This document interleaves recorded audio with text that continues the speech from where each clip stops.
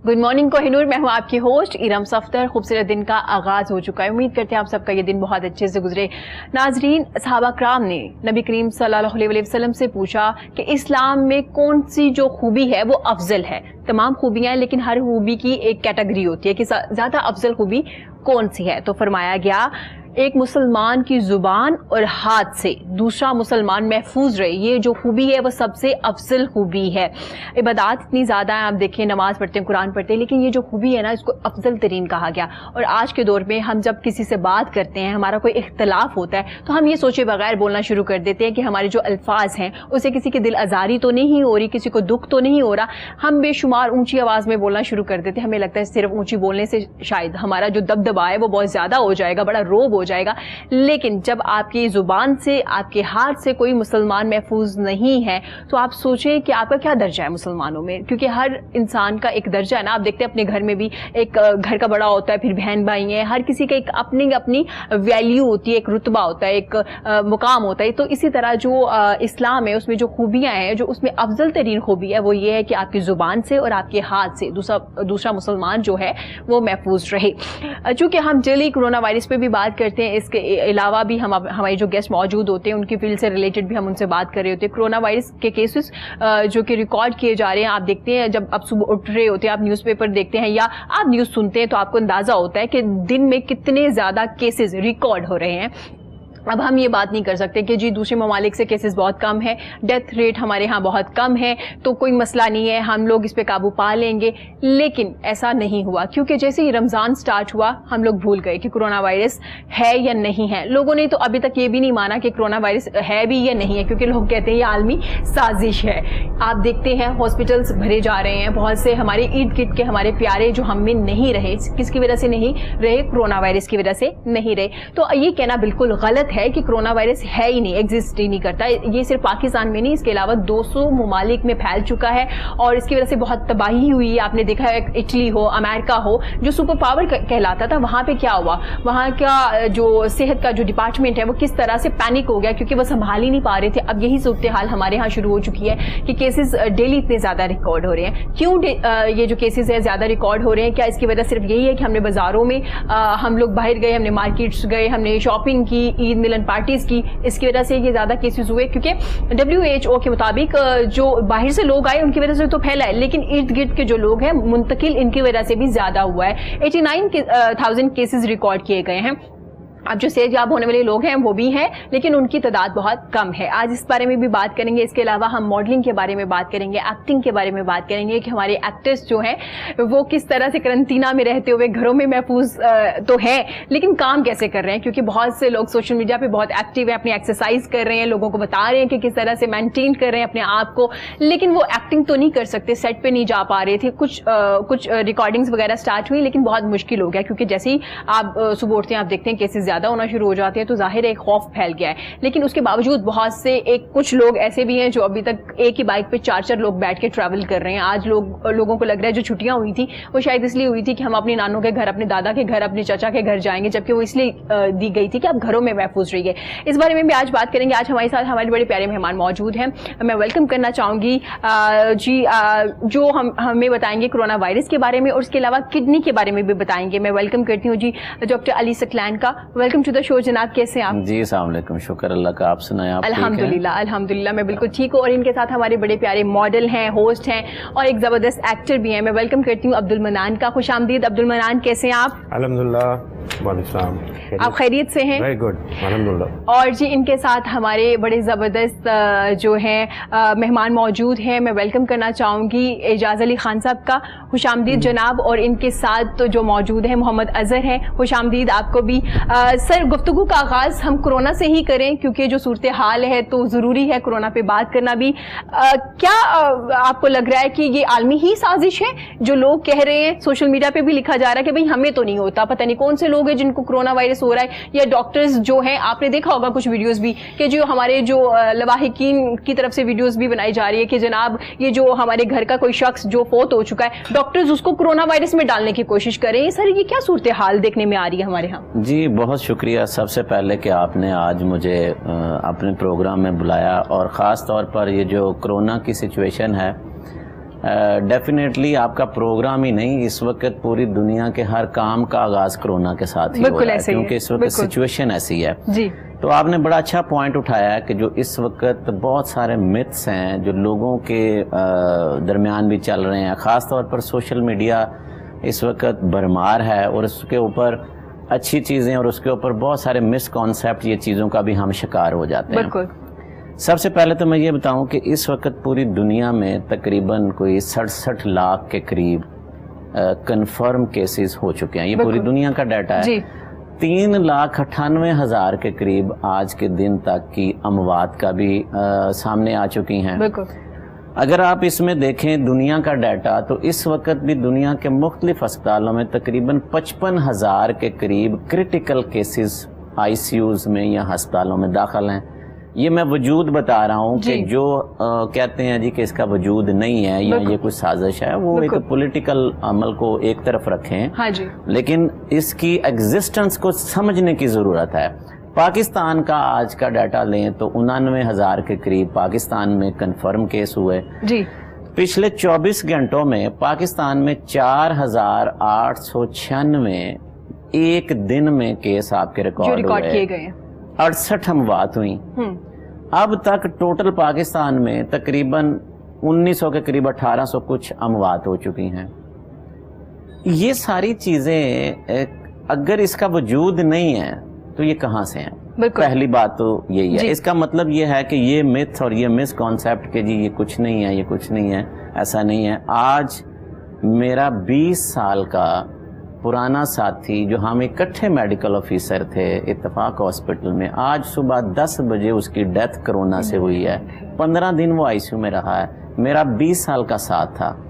कैसे हम कह सकते हैं कि हम नहीं देखते? ये को हमसे पूछे। सारा दिन हम अस्पतालों में किस तरह के मरीजों को और किस शक्ल में वो हमारे पास और किस करब से वो खानदान गुजरते हैं किस करब और तकलीफ़ में वो मरीज़ होता है ये डराने का मतलब नहीं है लेकिन ये समझाने का मतलब है कि इसको हमें सीरियस लेना पड़ेगा। जब तक हम इसकी इस नोयत को नहीं समझेंगे हम कैसे मेरा मतलब है कि ये कर सकते हैं? बहरहाल पहले तो मैं अपने उस साथी की आज की शहादत के ऊपर भी उनके घर वालों से ज़रूर ताज़ियत करता हूँ उसके लिए दुआ खो हूँ क्योंकि मेरा वो 20 साल का साथी था। मैं पंद्रह दिन से उसको देख रहा था कि वो किस तकलीफ़ में है। बहरहाल अल्लाह ताला ने उसके लिए ऐसे रखा था। अब हम आते हैं कि जी देखें एक है ज़िम्मेदारी अवाम की जी। और एक है ज़िम्मेदारी हुकूमत की। ठीक है। पहले हम आ जाते हैं चूँकि हम अवाम हैं तो हम अपनी बात कर लेते हैं।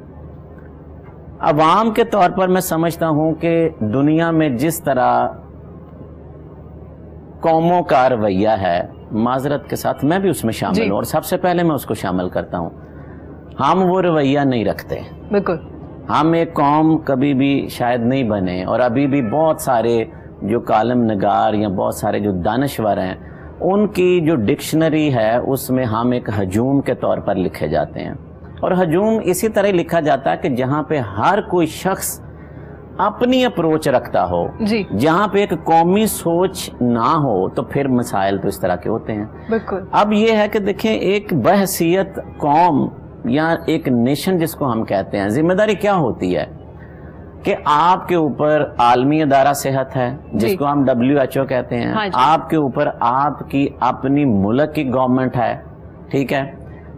एस ओ पीज आ रहे होते हैं। इस वक्त इतना जो मॉडर्न दौर गुजर रहा है जी। आपकी पॉकेट में भी मेरी पॉकेट में भी और हम सब बैठे हैं सबके पास मोबाइल मौजूद हैं। और हमारी पॉकेट में पूरी दुनिया मौजूद है। क्यों? बिल्कुल। आजकल आप हर चीज़ इंटरनेट से गूगल पर जाते हैं हर चीज़ आप एक्सेस कर लेते हैं। जी। ठीक है? अब ये है कि इस वक्त सबको जी। कोरोना क्या होता है? इसकी एहतियाती तदाबीर क्या हैं? बिल्कुल। एक साइकिल वाले से पूछ लें तो बता देगा। बिल्कुल। मास्क क्यों पहनना ज़रूरी है? सोशल डिस्टेंसिंग क्यों ज़रूरी ज़रूरी है? ये सारी चीज़ें इस वक्त इतनी पिछले छह महीनों से दिसंबर से लेकर अब तक पूरी दुनिया में फैल चुकी है। मैं समझता हूँ कि इसके ऊपर लोगों को अब ये बताना आज के दिन में कोई फ़ायदा नहीं रखता। बिल्कुल। अब लोगों को ये बताना और बावर कराना है कि इनके ऊपर अमल करना है। तो मैं समझता हूँ कि सबसे पहला काम जहाँ तक हुकूमत का आया हुकूमत भी कंफ्यूज रही। कि हमें लॉकडाउन कितना सख्त करना चाहिए नहीं करना चाहिए स्टेप वाइज करना चाहिए क्या करना चाहिए तो उसमें भी कुछ हमारे मसाइल रहे। ठीक है। रही कसर यह कि चलें अगर वहाँ पे थे भी लेकिन हमने बहसीत अवाम भी दजियाँ उड़ाई। बिल्कुल। आप देखें कि रमज़ान के महीने में एक तरफ़ हमारे वज़ीर आज़म साहब को या गवर्नमेंट को या मैं समझता हूँ कि बात ठीक थी कि वो ये कम अज कम तासुर रखते हैं कि लोग हमारी जो ज़्यादा क्लास है वो डेली वेजेस की है वो रोज मजदूरी करने वाले हैं। उनको ये फ़िक्र थी कि ये भूख से मर जाएँगे। लेकिन मेरा क्वेश्चन बड़ा पाँच दिनों में क्लियर हो गया।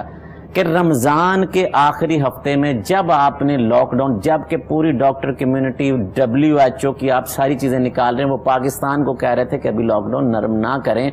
इस वक्त हम पीक वेव में हैं। ठीक है। आपने लॉकडाउन नरम किया तो हमारी ही गरीब कौम ने हमारे ही जो लोग भूखे मर रहे थे अगर वो पाँच से सात दिनों में बत्तीस अरब रुपए की शॉपिंग कर सकते हैं। और उस वक्त मार्केट्स में किसी शॉपिंग सेंटर वाले ने जिसकी ये ज़िम्मेदारी थी कि वो एस ओ पीस पे अमल अपनी दुकानों पे शॉपिंग मॉल पे कराता जी। वो जो तमाम हजरात जो हुकूमत के ऊपर भी प्रेशर डाल रहे थे कि कारोबार खोलने चाहिए फिर उनकी भी ज़िम्मेदारी बनती थी।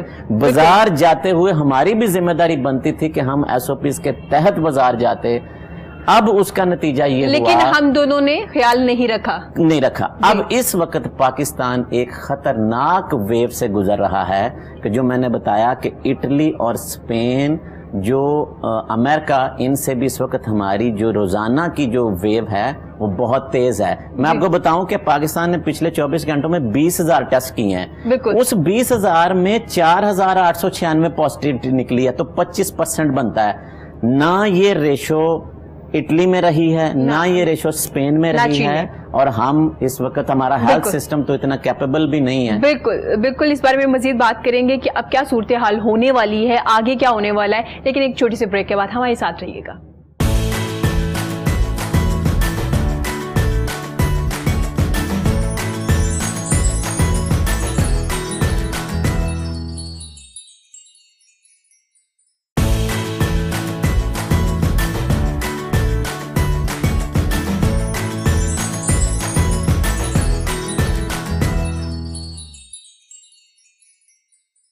वेलकम बैक जी गुफ्तगू का सिलसिला जारी है। हम बात कर रहे थे कोरोना के केसेस क्यों पाकिस्तान में ज़्यादा हुए। हमारे साथ अब्दुल मनान भी मौजूद है। पहले तो अब्दुल मनान आप लोगों का बहुत शुक्रिया। हमारे आर्टिस्ट हर वक्त सोशल मीडिया पे एक्टिव रहे और जहाँ तक पॉसिबल था आप लोगों ने अवेयरनेस भी दी कोरोना वायरस को लेके। लेकिन बात फिर वही आ गई कि हमने अवेयरनेस तो बहुत दी लेकिन हमने खुद एहतियात नहीं की। कौम ने हम सबने मिलजुल के ये जो इतने ज़्यादा केसेस हैं उनको बढ़ाया है। तो क्या कहना चाहेंगे? अब क्या सूरत हाल होने वाली है? क्या लॉकडाउन को फिर बढ़- देना चाहिए या पॉसिबल नहीं होगा अब लॉकडाउन में रहना? असल में जिन लोगों की जो मिथ्स बैठी हैं इस कोरोना के हवाले से उनको दुरुस्त करना बड़ी बहुत बड़ा चैलेंज है। अ, मैं भी अ, कुछ दिन पहले ही मैं किसी एक दोस्त बाप से मिल रहा था तो उसने मुझे एक अजीब सी स्टोरी बताई कि डॉक्टर्स जो हैं एक मेरा एक रिलेटिव जो है जी। अ, किसी वजह से उसका इंतकाल हो गया हाँ जी हाँ जी बिल्कुल। अब वो उसकी डेड बॉडी को कोरोना पेशेंट ज़ाहिर करने के लिए पैसे पे कर रहे। हाँ ट्वेल्व लाख तक बारह लाख दे रहे हैं। अच्छा। जी सिर्फ़ आप उसको उसकी डेड बॉडी को अगर कोरोना में अ, हमें हमें उसको मेंशन कर दें तो काइंडली आप ये अमाउंट लेके हमें। मैं बड़ा हैरान हुआ उसकी इस बात पे मैंने कहा ये और ये सोशल मीडिया पे भी का, काफ़ी चीज़ें आ रही हैं देखने ये अगर यही आपकी डेड बॉडी कौन पागल है जो तुम्हें ये मशवरे देता है? या ये कौन बातें तुम्हें बताता है? अच्छा तुमने मान ली फिर जिस तरह मैं क्वेश्चन किया इसी तरह इसे भी चाहिए था ना कि ये बात का क्वेश्चन करता कि किस तरह कोई अपने अज़ीज़ को इस तरह बेच सकता है उसकी डेड बॉडी बिल्कुल। तो इस तरह से बहुत से र्यूमर्स हैं जो आवाम में जो है फैल रहे हैं। असल में यहाँ पे ना हमारा इलिटरेसी का जो रेट है वो बहुत ऊपर है। हम बहुत जल्दी दूसरे लोगों की बातों पर लग जाते हैं। दूसरा सनसनी फैलाना ये बड़ा एक आम सा है यहाँ पे रुझान। और एक प्लेटफॉर्म मिल गया हमें सोशल मीडिया जहाँ पे कोई चेक एंड बैलेंस नहीं आपको जो दिल करता वीडियो बनाते हैं और उसमें डाल देते हैं।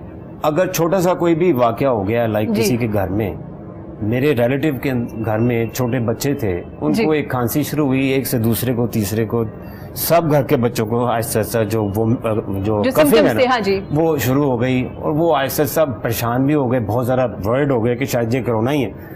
तो उनके घर में जो अंकल थे ना वो बड़े इंटेलिजेंट थे। उन्होंने कहा मैंने जो मर्ज़ी है डॉक्टर के पास मैंने नहीं जाना। अच्छा ठीक है। घर में ही है जो मर्ज़ी आप करें।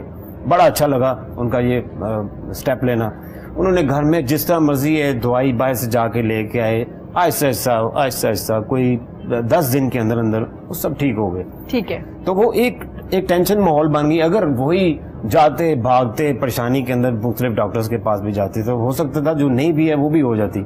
सम आजकल जो हॉस्पिटल्स का जो मामला है उसमें आ, मैं समझता हूँ नहीं जाना चाहिए। अच्छा अब्दुल मनान इसका मतलब ये है कि अगर आपको नॉर्मल भी कफ हो सकती है डॉक्टर साहब भी एग्री करेंगे अगर वो कोरोना नहीं भी है तो उसका बेहतर हल यही है कि आप अपने रूम में बंद कर लीजिए क्योंकि अगर आप बहुत ज़्यादा रश लगाएँगे हॉस्पिटल्स में एक तो डॉक्टर्स ऑलरेडी बहुत काम कर रहे हैं उनके लिए भी प्रॉब्लम होगी और अगर हो सकता है कि आपको जम्स भी वहाँ से लग जाए। ठीक है, आपको जो जी प्लीज़ प्लीज़ वो एक बात भी शेयर कर दूँ कि जब कोई कोई वबा आपके इलाके में एरिए में फैल जाए जी।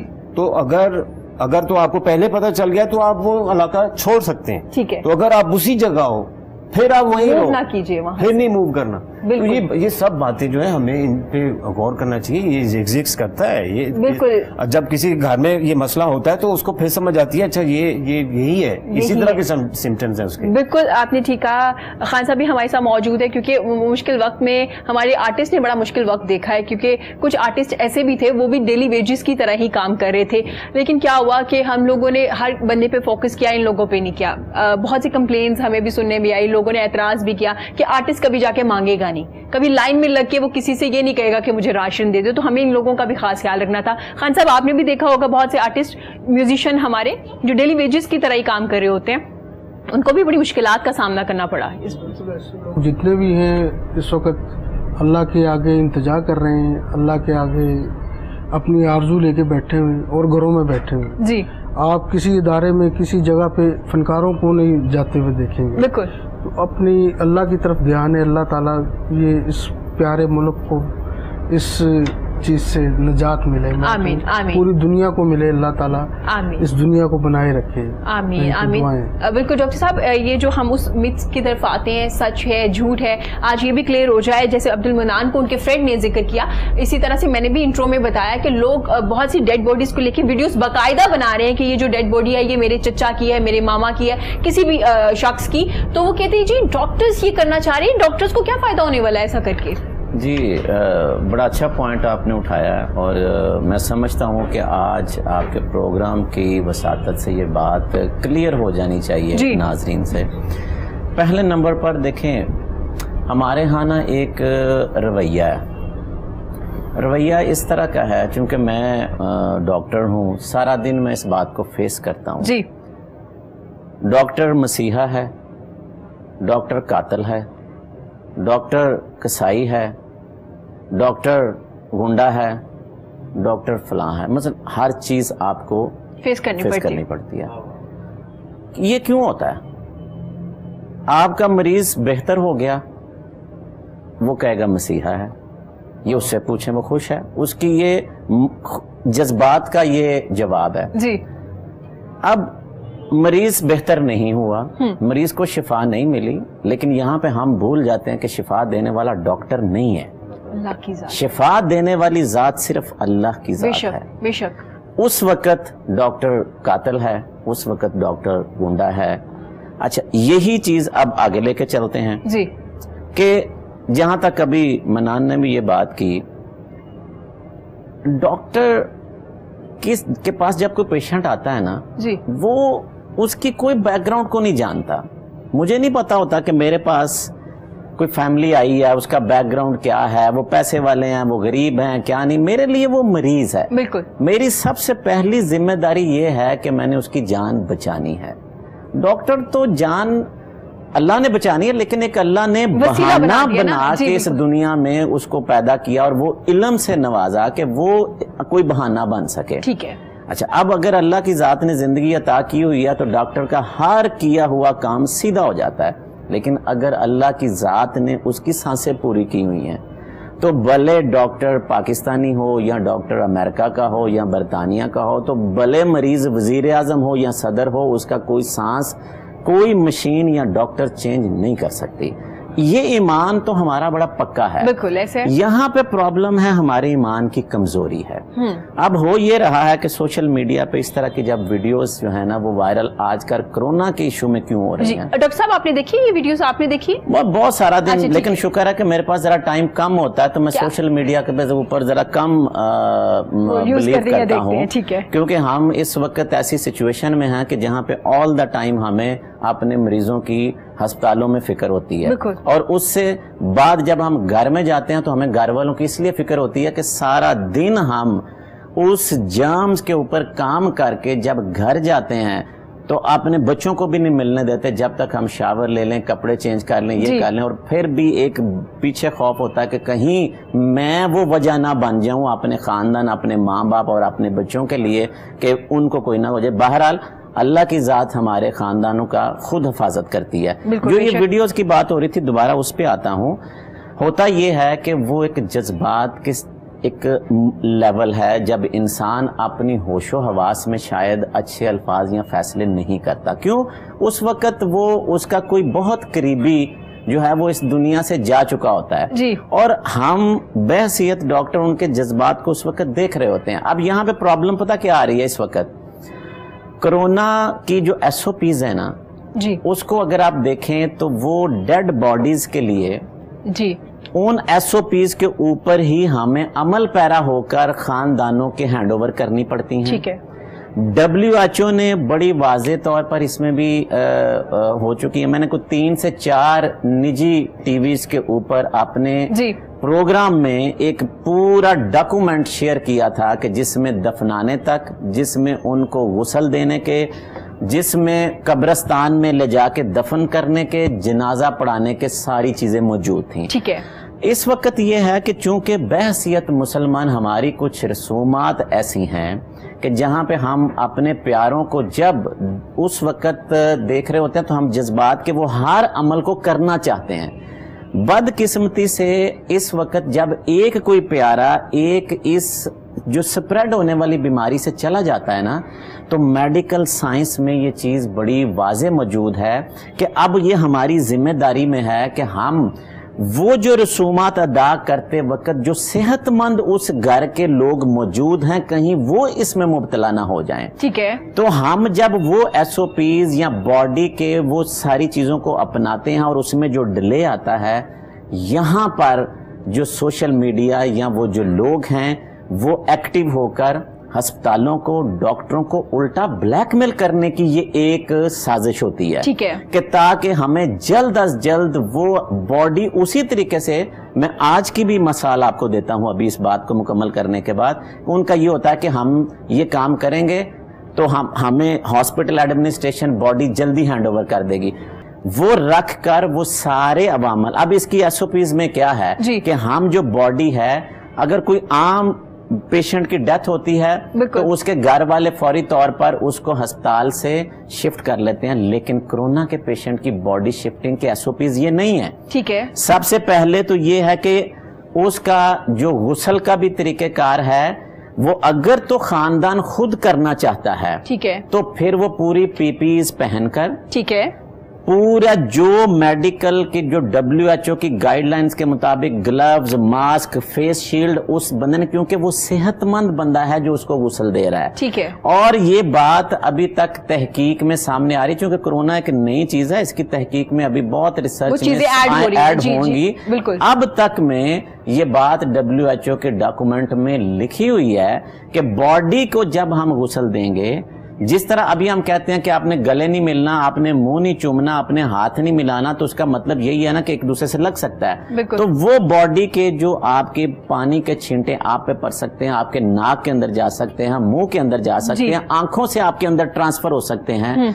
तो उसकी अगर तो आप वो पूरी SOPs पेन। SOPs करके आप खुद करना चाहें। नहीं तो जो हॉस्पिटल का स्टाफ होता है या जिस तरह अभी जो हम एसओपी इस्तेमाल कर रहे हैं कि हम डबल वन डबल टू वालों को कॉल करते हैं ठीक है। वो ट्रेंड पीपल हैं तो कुछ लोग जो हैं वो वहाँ से भी ये रसूमात का अदा कर लेते हैं। ठीक है। इसके बाद इस बॉडी को एक प्लास्टिक बैग में पैक करके जी।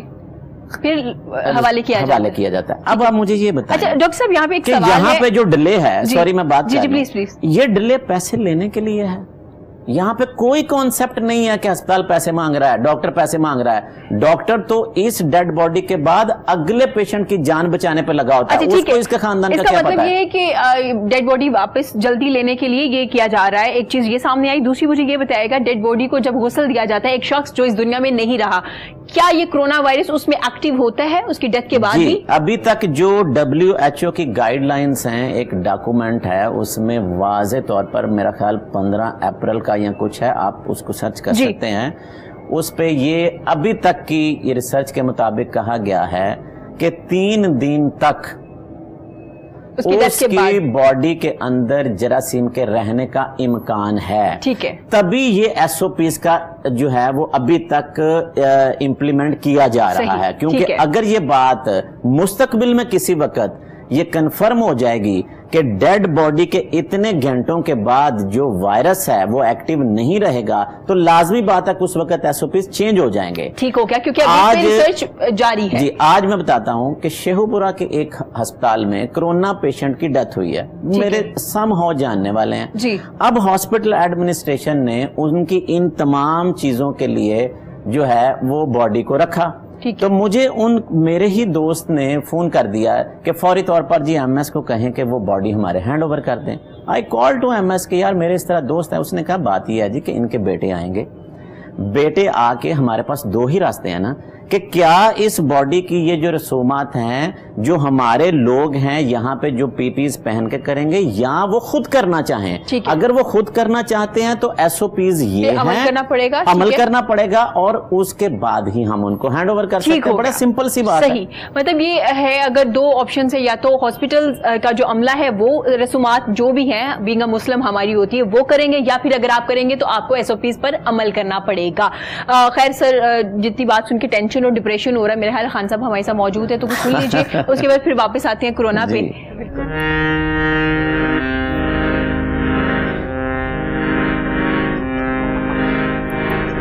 जी।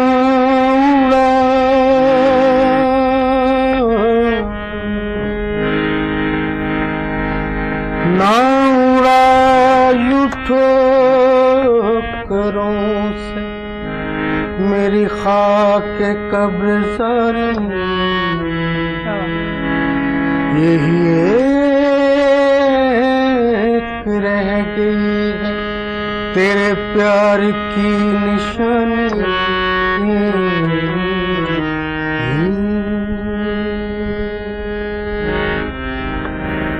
कच्ची दीवार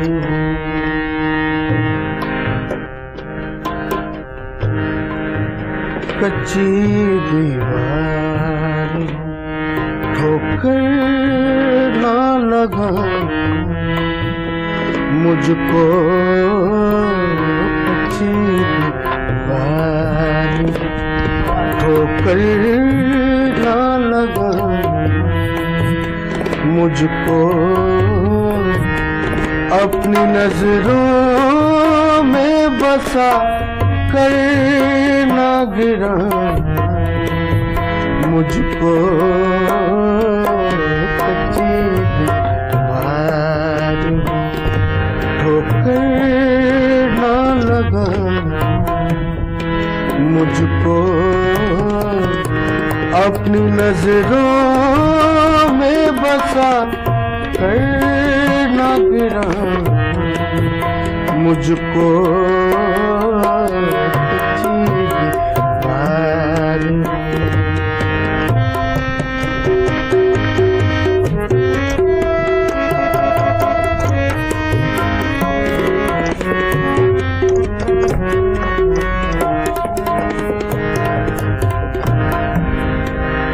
आँखों में तस्वर की तरह रखता हूँ। तुमको आँखों तुमको आँखों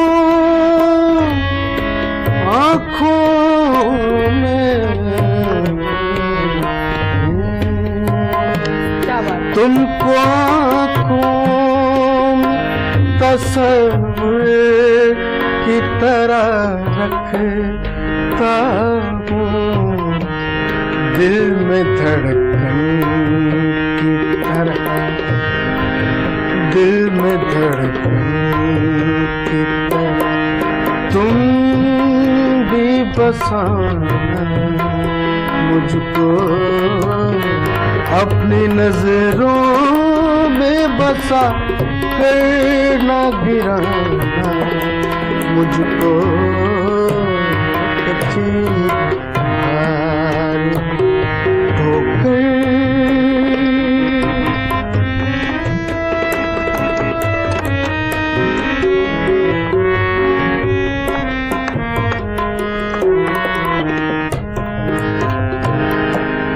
वादा उतना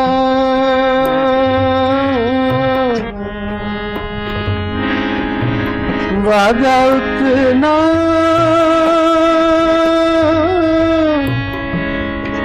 वादा उतना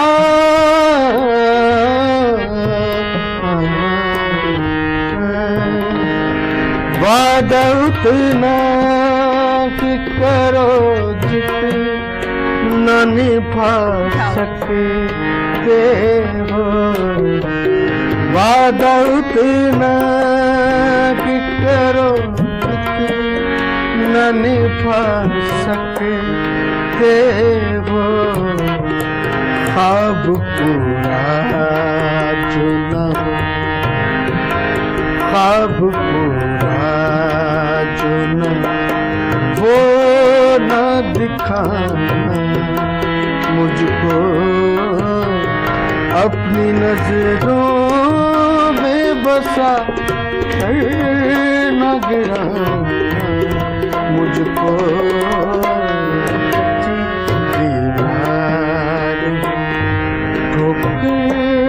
न मुझको।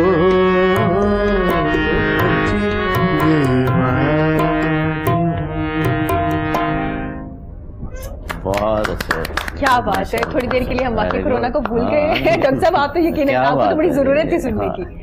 हम तो फिर खास तौर पर ना कि जैसा खान साहब कमाल क्या किया आपने। देर हो गई है इस तरह लाइव सुनते क्या बात क्या बहुत बहुत अब्दुल मनान से पूछेंगे लॉकडाउन में। अब्दुल मनान पहले तो आपको बड़ा आप इंजॉय कर रहे थे मैंने गौर किया। आप डॉक्टर साहब तो कर ही रहे थे डॉक्टर साहब तो फ़ैन है। आपको कैसा लग रहा था? बहुत ज़बरदस्त। मैं फ़र्स्ट टाइम इस तरह लाइव बैठ के क्या बात? रहा हूँ। तो इसका एक अपना सरूर है। सही बात है। तो अब्दुल मनान लॉकडाउन में क्या मसरूफियत रही घर में?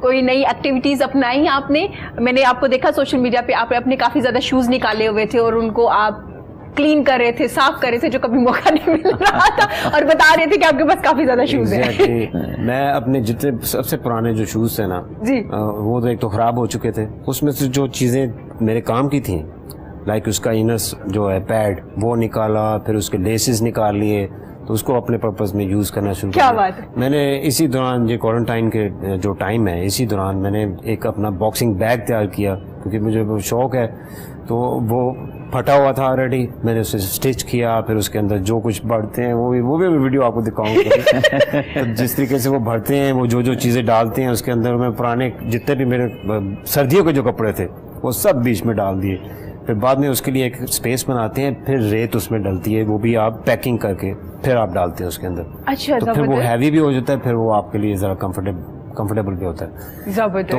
उस जो अगर उसमें जो कपड़े आप डालते हैं उसमें से आप बटन जिप्स ये सब उतार लेते हैं। ठीक है। ता- ताकि आप जब पंच कर रहे हो तो फिर वो आपको डिस्टर्ब ना करे मतलब कि काफ़ी मसरूफ रहे और काफ़ी चीज़ें आपने घर में ही बना ली है ज़रूरत नहीं खुद ही मैंने अपना इस टाइम को यूज़ करने की कोशिश की। मैं बहुत सी एक्सरसाइज भी करनी शुरू मैंने अपना हेयर कट खुद ही किया घर में और मैंने चैलेंज भी किया। जैसे चैलेंज नहीं चले हुए थे हाँ, आजकल कोरोना हाँ, टाइम के दौरान।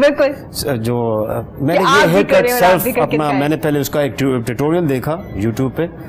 फिर यही जो हेयर कट है ये इससे भी ज़्यादा पहले थे अब तो थोड़े से बाल आ गए हैं ग्रो हो गए हैं। तो ये शुरू स्टार्ट में जब शुरू हुआ है अप्रैल में ज़्यादा पीक पे जब था तो उसमें मैंने फिर अपना हेयर कट खुद ही किया। तो कोरोना की वजह से बहुत से आपके अंदर जो एक टैलेंट था वो भी बाहर आया। बहुत आप क्या क्या कर सकते हैं बहुत चीज़ें। मैं आज से और भी बड़ी चीज़ें मैं देख रहा था क्या क्या हो सकता है। बहुत कुछ हो सकता है। जिन चीज़ों के बारे में आप सोचते भी नहीं थे आप वो कर सकते हैं। मैंने अपना पुराना वर्क निकाला जो मैं बहुत पेंडिंग था वो कभी पब्लिश नहीं किया था। तो वो चीज़ें निकाली अपनी मैं चेक की वो भी पब्लिश करना शुरू किया अपनी वेबसाइट को ओके करना शुरू किया अपने पेजेस को फेसबुक पे उसको सेट करना शुरू किया। तो ये आहिस्ता तो आहिस्ता लॉकडाउन में काफ़ी मसरूफ रहे आप? घर में। घर में ज़रूरी था क्योंकि अब एक्सरसाइज तो बहुत ज़रूरी है बिकॉज़ ये सिचुएशन ऐसी है। मैंने एक मूवी देखी जिसका नाम है दी अनटचेबल्स उसके अंदर शॉन कॉनरे की बड़ी ज़बरदस्त बात लगी। जी। जब वो उसकी डेथ हो रही होती है तो आखिरी उसके अल्फाज थे कि वो उसको ना एक एक बुक लेजर जो है वो उसका पता उसे बताना होता है। अब वो उसके आखिरी सांस थे। तो वो उसको वो उसको बताता है रायन गोस्टिंग था या वो उसमें दूसरा हीरो इसका नाम मैं भूल गया हूँ। तो उसको बताता है कि are you prepare for this तो हम असल में इस वबा के बारे में तैयार नहीं थे। यार नहीं थे। बल्कि पूरी ग्लोबली पूरी दुनिया भी इस वायरस के बारे में तैयार नहीं थी। तो ये जो prepare are you prepare for this जो ना ये वर्ड मुझे बड़ा क्लिक किया कि हम बहुत सी ऐसी चीज़ें अपनी ज़िंदगी में उसके लिए तैयार तैयार नहीं, नहीं होते। तैयार नहीं होते। अब जैसे डेंगी था हम तैयार नहीं थे। डेंगी जब आया तो स्प्रे भी होना शुरू हो गए तब गाड़ियाँ भी चलना शुरू हो गई तब वो जब आया तो उससे पहले कुछ भी नहीं था। अब वो घरों में आके वो आपकी पानी की कनाली और आपकी फ्रिजेस भी चेक कर रहे होते हैं। लाइन की ट्रे खाली है उसमें देखते हैं। आपका घर में अगर कूलर है तो उसको भी चेक कर रहे होते हैं। तो ये बाद में। तो इससे पहले ये सब चीज़ों के लिए हम तैयार नहीं थे। ये ये एक बड़ा ज़रूरी क्वेश्चन है जो ऐसा है मेरे दिमाग में बैठ गया कि हम बहुत सी चीज़ों के बारे में पहले से प्रिपेयर नहीं होते। जी। तो we have to be prepare पहले अपनी बॉडी वाइज आपको फिजिकली भी स्ट्रांग होंगे तो आप प्रिपेयर रहेंगे ना Exactly. वायरस लेकिन अब्दुल मनान अभी तो काफ़ी टाइम हो गया ना मैं बताना शुरू कर दिया गया कि प्रिपेयर हो जाए तैयारी कर लें कुछ भी हो सकता है क्योंकि आपको नहीं पता कि हम चार लोग बैठे हैं कोई किसी में ये सिम्टम्स हैं या नहीं है। अल्लाह ना करे अगर टेस्ट हो या पॉजिटिव आ जाए तो अभी तो मेरा ख्याल है कि हमें तैयारी कर लेनी चाहिए इसके लिए। जो आपके बस में है वो तो करें। Exactly exactly. मैं मुझे एक डॉक्टर साहब ने बताया कि यार वो जो विक्स है ना विक्स वेपोरअप जो है वो एटलीस्ट अपने नोज़ के इर्द गिर्द इतना यहाँ पे लगा लिया करो। ठीक है। उससे ये है कि जो वायरस हैं कोई भी किसी किस्म की कोई ऐसी चीज़ है वो आपको इनहेल नहीं कर पाते। Inhale नहीं तो वो वैसे भी बड़ी सूथिंग है। आपका नोज़ खुल जाता है आप जरा बड़ा। एंड आउट बड़ी इजी हो जाती है। आई लाइक दैट तो अब हैंड वॉश करें। करें? क्यों ना करें? आप अपना फेस भी वॉश करें अपने नमाज़ पढ़ें। सबसे बेहतरीन चीज़ तो ये है जब आप वज़ू करेंगे जो वायरस खुद ही धुल जाएँगे ये गए क्योंकि आप अच्छे से हाँ, तीन तीन बार ये ये ये कर रहे एस जो है ऑलरेडी अल्लाह ताला ने नबी सल्लल्लाहु अलैहि वसल्लम के थ्रू बता दी है आपको बिल्कुल। तो हर चीज़ तो ऑलरेडी मौजूद है। सिर्फ़ हम गौर नहीं करते। ये नेचर जो है आप धूप लें। ये जो असर के टाइम की जो धूप है इसमें आप दस मिनट ज़रूर लें। बिल्कुल, और करें। वो जो धूप है ना ये जो असर की स्पेशली सुबह मॉर्निंग भी, भी है लेकिन धूप में ज़रूर रहें। वो आपके बहुत से बॉडी के और भी बड़े ऑर्गन्स के लिए बड़ी बेहतरीन है। ये अल्लाह ताला का निज़ाम है विटामिन डी है। और अब्दुल मनान मैंने देखा आप देसी फ़ूड और नेचुरल चीज़ों की तरफ़ आते हैं कैवे का इस्तेमाल कर बहुत ज़्यादा करते हैं। बहुत ज़रूरी है। अब देखिए बहुत सी ऐसी चीज़ें जो आप दूसरे लोगों से सीखते हैं। बिल्कुल। कावा अदरक का अदरक का बीच बीच में डाल के आप यूज़ करें। उसमें आप पुदीने का कावा उसमें भी डाल के यूज़ करें। ये पी सकते हैं आप। बिल्कुल। आप ये वैसे भी अच्छा है आपकी हेल्थ बेहतरीन है। शहद बड़ी बेहतरीन चीज़ है।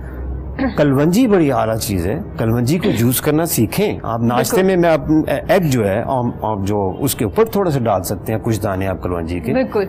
तो कलवंजी के अंदर तो अल्लाह ताला ने वैसे ही शफा रखी है सिवाय मौत के उसकी हर बीमारी की शफा। बिल्कुल। डॉक्टर साहब से भी पूछेंगे डॉक्टर साहब जैसे डाइट बता रहे हैं कि ये ये चीज़ें लेनी चाहिए जो आपके बस में हो क्योंकि हमने इन दिनों में कुवत मदाफियत जो है उनके बारे में बहुत सुना है कि इम्यून सिस्टम स्ट्रांग कर लीजिए।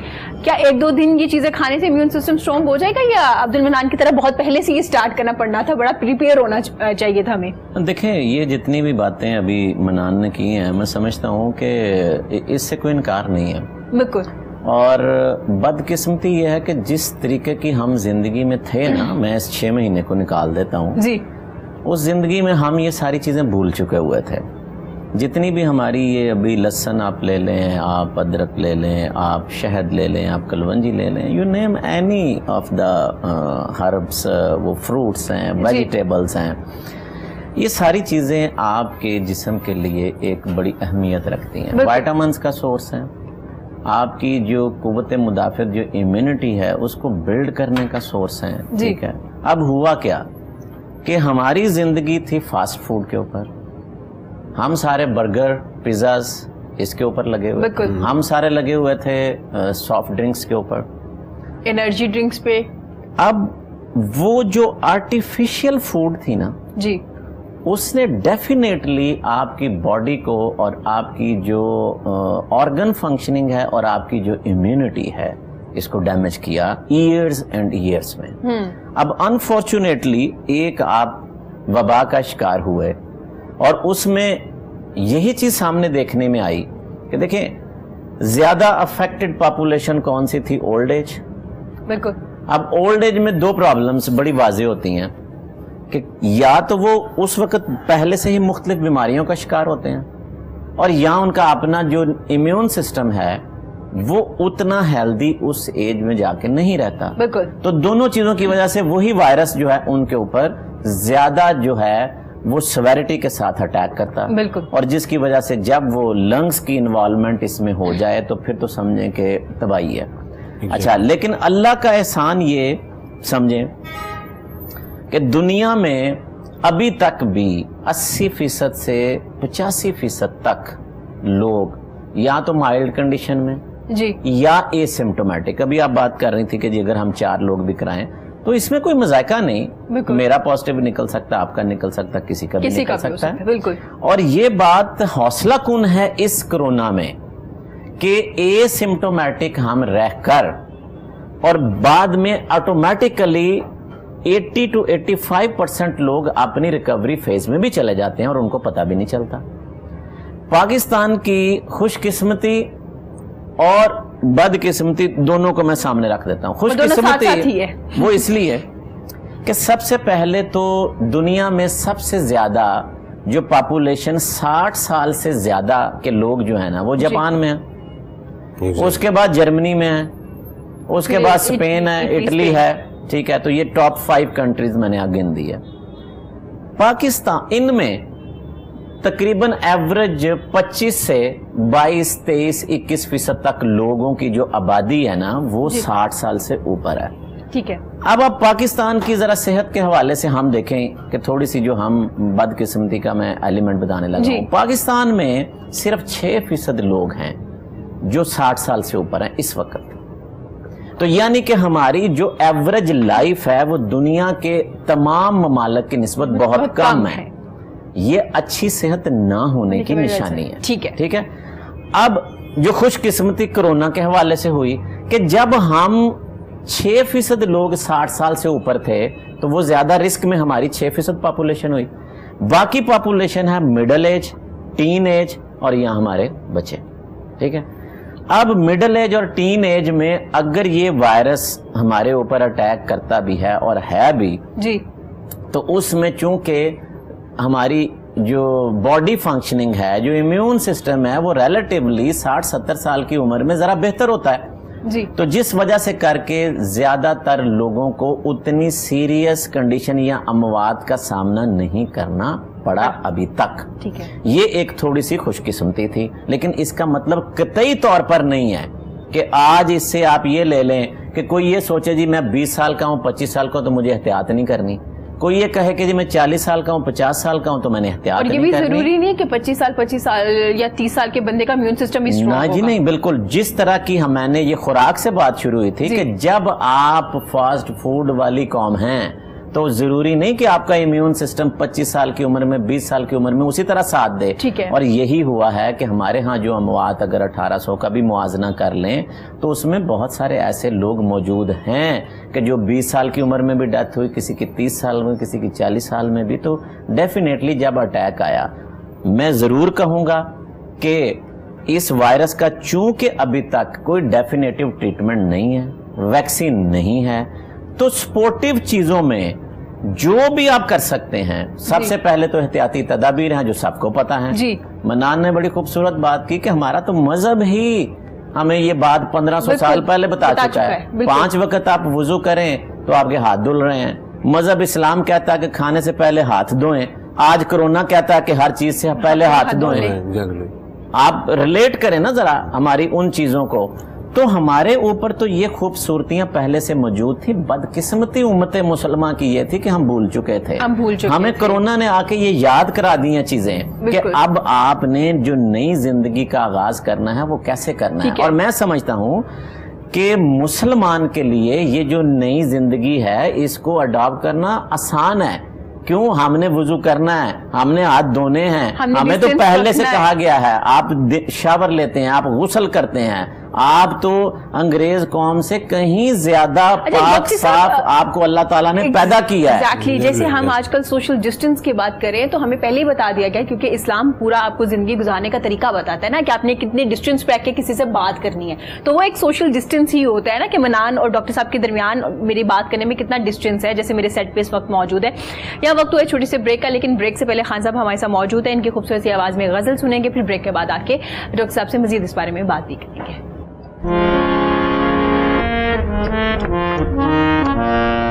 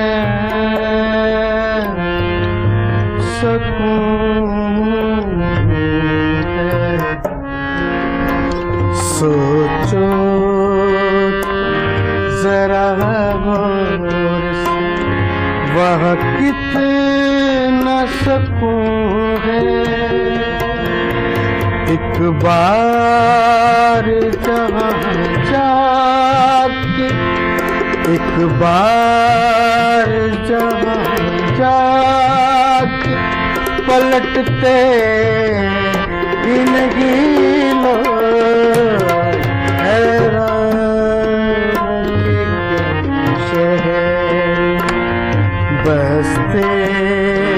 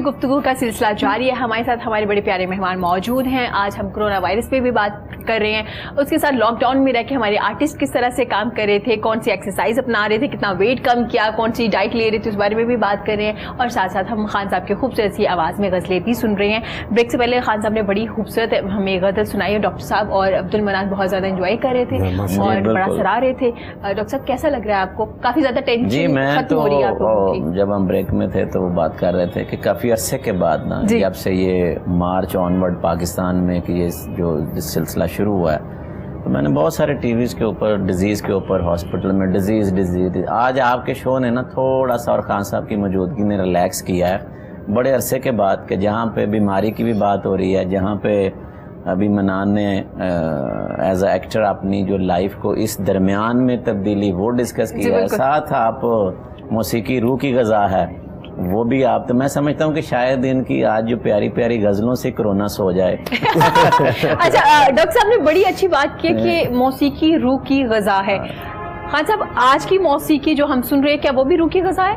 जी बिल्कुल। यही तो है। नहीं तमाम जो आजकल जो गाने आ रहे हैं जो हिप हॉप आ रहे हैं जो शोर शराबे कर रहे हैं शोर शराबा वो भी रूह की गजा है? वो आपकी मौसीकी की बात नहीं कर रहे किसी बंदे से पूछे ना साइड बंदे से मैं तो यही कहूँगा कि मुझे तो हर मौसीकी अच्छी लगती है। हर मौसीकी अच्छी लगती है। जितने भी सिंगर्स काम कर रहे हैं बेहतरीन काम कर। रहे बहुत अच्छा कर रही है अल्लाह उनको सलामत रखे। लेकिन मेरा यहाँ पे थोड़ा सा मौका please, उल्ट होगा। अपनी चूँकि मेडिकल से हट के देखिए जो असली मौसीकी है ना वो ये। है। इसके ऊपर खान साहब ने तो बड़ी आजजी का काम लिया है लेकिन इनके पीछे जरा इनका दिन रात और इनकी मेहनत। देखें। अभी जो दौर है ना वो शॉर्टकट है। कोई इतना रियाज नहीं कर सकता। कोई बैठना नहीं चाहता। बिल्कुल। अभी जो हमारी एक फीलिंग थी ना हम सब लोग जो एंजॉय कर रहे थे और मैंने जो बात की है तो असली फिर जब हम रूह की गजा की बात करते हैं ये वो चीज़ है जो आपके अंदर आती है। बिल्कुल। कितना अच्छा तबला कितना अच्छा ये धीमे मिजाज से अभी जो मौसीकी है मैं ये बुरा नहीं कहता वो हम मैं भी सुनता हूँ लेकिन सुनते हैं, लेकिन। वो आपको ना एक आरजी तौर पर एक शॉर्ट टाइम के लिए तो आपको थोड़ी सी एंटरटेनमेंट देती है लेकिन लॉन्ग रन में असल लोग ये हैं। मैं इनको इसलिए अप्रिशिएट करना चाहता हूँ ज़बरदस्त वेरी नाइस खान साहब क्या बात है। अब्दुल मना डॉक्टर साहब जैसे ज़िक्र कर रहे थे शॉर्टकट तो माशाल्लाह से आपने मॉडलिंग की और एक फ़िल्म भी बाकायदा की जो बे, बेहतरीन फ़िल्म है जो जल्दी आने वाली भी है इंशाल्लाह। अब्दुल मनान आजकल मॉडलिंग एक्टिंग में भी शॉर्टकट आ गए हैं। पहले अ, हमारे एक्टर एक्ट्रेसेस अभी भी जो जिन्होंने स्टार्ट किया बड़ी मेहनत की दिन रात मेहनत करते थे। मॉर्निंग में उठ रहे हैं इवनिंग में कोई टाइमिंग नहीं होती ना आपकी। तो शॉर्टकट बड़ा आगे बहुत से लोग आगे आगे बहुत कम वक्त में क्या कहना चाहेंगे? शॉर्टकट जो लोग जल्दी आते हैं वो क्या देर तक देर तक चल पाते हैं या नहीं पाते? जो शॉर्टकट से आता है वो आपको शॉर्ट टाइम के लिए नज़र आता है। शॉर्ट टाइम के लिए नज़र। बड़े चंद लम्हों के लिए आपको नज़र आएगा उसके बाद वो पता भी नहीं चलेगा स्क्रीन से गायब हो जाते। मैंने देखे कई लोग। ये एक बूफा है। अगर आप बूफे में लाइन में लगे हैं तो लाइन में लग के बूफा अपना अपने अपना प्लेट लेके हैं, खड़े हाँ। तो कोई आपके पीछे से निकल के आगे आगे आगे खाना डाल के निकल गया तो वहाँ पे आपको सब्र करना पड़ेगा। तो आप देखिएगा वो बाद में नज़र भी नहीं आएगा। मैंने कई लोग देखे अभी तक। मुझे मैं आई थिंक 2000 2000 से इस फ़ील्ड में हूँ 2000 से। तो मेरे टाइम पे जो लड़के थे मॉडल्स थे ऐसे। तो वो अब इतना काम करते हुए मुझे नज़र नहीं आते। हालाँकि मुझे अफसोस होता है क्योंकि मैं देखना चाहता हूँ उन लोगों को भी साथ। देखना चाहता हूँ कि वो भी आ, आगे। बढ़ें अपना अपना टैलेंट जो भी अपना एक्सप्लोर करते हुए आगे आए यही अब मैं मशवरा देता हूँ। मैं आजकल अपनी एक एम्पायर बिल्ड कर रहा हूँ। मैं चाहता हूँ लोग जो जो डिजर्विंग हैं उनको आगे बताऊँ क्या हो सकता है क्या आप कर सकते किस तरह से आगे आने किस तरह से आगे जी। कोई शॉर्टकट नहीं चाहिए। जी। आपको मेहनत करनी पड़ेगी। इसमें तो कोई दूसरी राय है ही नहीं। ठीक है। और ना आपको बहुत ज़्यादा क्रेजी होना है इसके पीछे। ये भी मैं पहले बता देता हूँ। क्रेजी नहीं होना। You have to be very patience वो अपना वो सबर का जो पैमाना है ना उससे खूब आपने निपटना है उससे भड़े रहना आपने। आपको सब्र करना पड़ेगा। तो सब्र का आप देखिएगा फल फिर मिलता है आपको। इन दिन लॉन्ग थोड़ा टाइम लगता है वही चीज़ पायदार होती है जो देर तक आपको बिल्कुल अब्दुल मुनान मैं एग्री करती हूँ आपकी बात से जैसे आपने ज़िक्र किया कि मेहनत तो करनी पड़ेगी आप किसी भी फ़ील्ड में।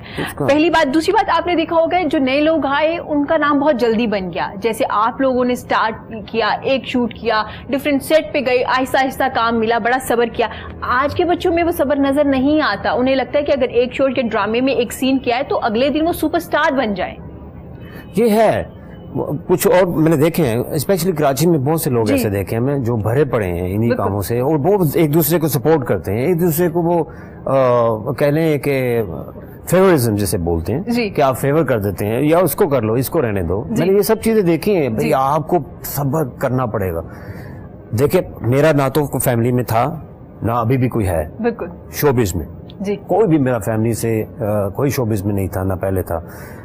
बहुत से लोगों के शोबिज में ऑलरेडी रिलेटिव होते हैं वो बहुत सी पर्ची लेके जाते हैं काम हो जाता है। हो जाता होगा। सो व्हाट बिल्कुल। आपका एक अपना पाथ है आप उस पाथ पे रहें और अल्लाह ताला ने जो इज़्ज़त देनी है वो मिलके रहनी है। वो ना ये छीन सकता है यहाँ आप उनके हाथ साथ हाथ मिला के ले लें। तो यहाँ आप अपने पाथ पे रह के लें उसमें बड़ा मज़ा है। मैं अगर बगैर पर्ची के काम कर रहा हूँ या बगैर किसी की सिफारिश के ना बगैर किसी बेटा बनने के। एक इनमें ये भी मिथ्स चलती हैं बेटा बनना पड़ता है। मैं ऑनेस्टली बड़ा मैं ओपन सा बंदा सच है। और मैं दिल खोल के बोलता हूँ। राइट मेरे अंदर कोई कोई चीज़ छुपी नहीं है ना ना मेरे अंदर कोई चोर नहीं है इसीलिए मैं बोल पड़ता हूँ। तो ये बात है कि कुछ लोग बेटा बना के चल जाते हैं। मैं इसका बाप हूँ ये मेरा बेटा है जी। अल्लाह जाने उसमें क्या है बाका मैं उसी डेप्थ में नहीं जाना चाहता। जी। कुछ इस तरह से बन जाते हैं कुछ जो है कुछ लोग होते हैं अपना उनको पता होता है अल्लाह ताला ने जो लिखी हुई है जी मिलेगी। कोशिश ज़रूर करें कोशिश का देखें अल्लाह ताला दे- कहते हैं ना मालक दा काम में फल लावे ना लावे माली दा काम में पानी लाना। तो पानी आप यानी आपने अपना ख्याल खुद रखें आप फिट रहें एक्टिव रहें अपना टैलेंट एक्सप्लोर करते रहें। अल्लाह ताला ने चाहे तो आपको लाइन को मिल ही जाएगी। मैं कभी भी मॉडल नहीं बना चाहता था। जी। तो मुझे वो एक अनारकली बाज़ार में किसी ने रोक के कहा कि यार तुम मेरे स्टूडियो आओ मैं आपकी तस्वीरें उतारना चाहता जी हूँ। बिल्कुल। तो अब मैं वहाँ पे नेगेटिव सोच लेता यार ये पता नहीं अजीब सा मुझे बंदा तो अजीब लग ही रहा था। अच्छा लग भी रहा था। तो लग तो रहा था पर मैंने बड़ा अपना था ना मैं डेयरिंग था। मैं देखो तो सही इसने क्या कह के बुलाया और क्या सोच के बुलाया। मैं वो कई काफ़ी चीज़ें सोच के गया था कि यार या तो फेंटा लगाऊँगा ठीक ठाक या इसके पास को देखते हैं क्या क्या रीजन थी इसने मुझे रास्ते में रोका। तो उसने मुझे अपने बुलाया जब तो उसमें तस्वीरें उतारी फिर आगे तस्वीरें वायरल हुई मुझे काम मिलना शुरू हो गया। तो इस तरह से पर मैं क्रेजी बिल्कुल नहीं हुआ। मैं वही चीज़ें बताता हूँ के साथ। जो जो मेरे साथ हुआ है जो मैं किया है जो मैंने जिस पैटर्न पे रहा हूँ मैं वही आगे बताता हूँ नई न्यू कमर्स को। अच्छा अब्दुल मनान जैसे आप ज़िक्र कर रहे हैं कि सब्र करना चाहिए और बहुत से लोग रह जाते हैं जो सब्र करके आए। माशाल्लाह आपको 20 साल होने वाले हैं अगर आपने 2000 से स्टार्ट किया है। तो आपने नोट किया कि जो लोग सबर के साथ काम कर रहे थे उनमें अगर टैलेंट है तो वो कहीं ना कहीं सामने आ जाता है। एक बाज़ार में पहचान लिया गया टैलेंट कि इसमें ये टैलेंट है। तो अगर आप में टैलेंट है तो आप पहचान लिए जाएँगे। बेशक थोड़ा वक्त लग सकता है लेकिन कहीं ना कहीं आप आगे आ जाएँगे। ये आपकी जो स्टोरी है ना उसे ये सीखने को मिलता है। सबर कीजिए मेहनत कीजिए और इंशाल्लाह कहीं ना कहीं आपके लिए जगह बन जाएगी। तवस्सर शजर से उम्मीदें बाहर रख। तो आपको उम्मीद रखनी चाहिए कि आपके लिए अल्लाह ताला ने जो रखा हुआ है जो जो आपका आपको जो कहते हैं ना आपका पर्पस है जो वो आप ज़रूर पूरा करके जाएँगे। चाहे वो कोई भी है। बिल्कुल। अल्लाह ताला ने हर इंसान का पर्पस रखा हुआ है। एक मेरी रिलेटिव में से ये कहता यार वो कुछ नहीं ज़िंदगी में पड़ा। मौत आनी है फलाना आना है ये हो जाना है ये अल्लाह करो। अल्लाह कर ज़रूर कर। हला ना कर। अल्लाह अल्लाह कर। तुम्हें किसने रोका है? पर मौत को बार बार याद नहीं करते कि आप बार बार उसे मौत को कहें ये अ, मेरी आप घर में बैठ जाओ कोई काम ही ना तो करें इस हाँ। कि ये नहीं अब आपका पर्पस तो कोई जब आपका कोई पर्पस ही नहीं है तो आप यही बातें करोगे कभी से मौत आनी आनी? बिल्कुल। डॉक्टर साहब कुछ कहना चाह रहे हैं इस बारे में? बड़ी अच्छी ये गुफ्तगु चली है और मनान ने बड़ी अच्छी बातें की हैं। मेहनत का कोई नेमुल बदल नहीं है।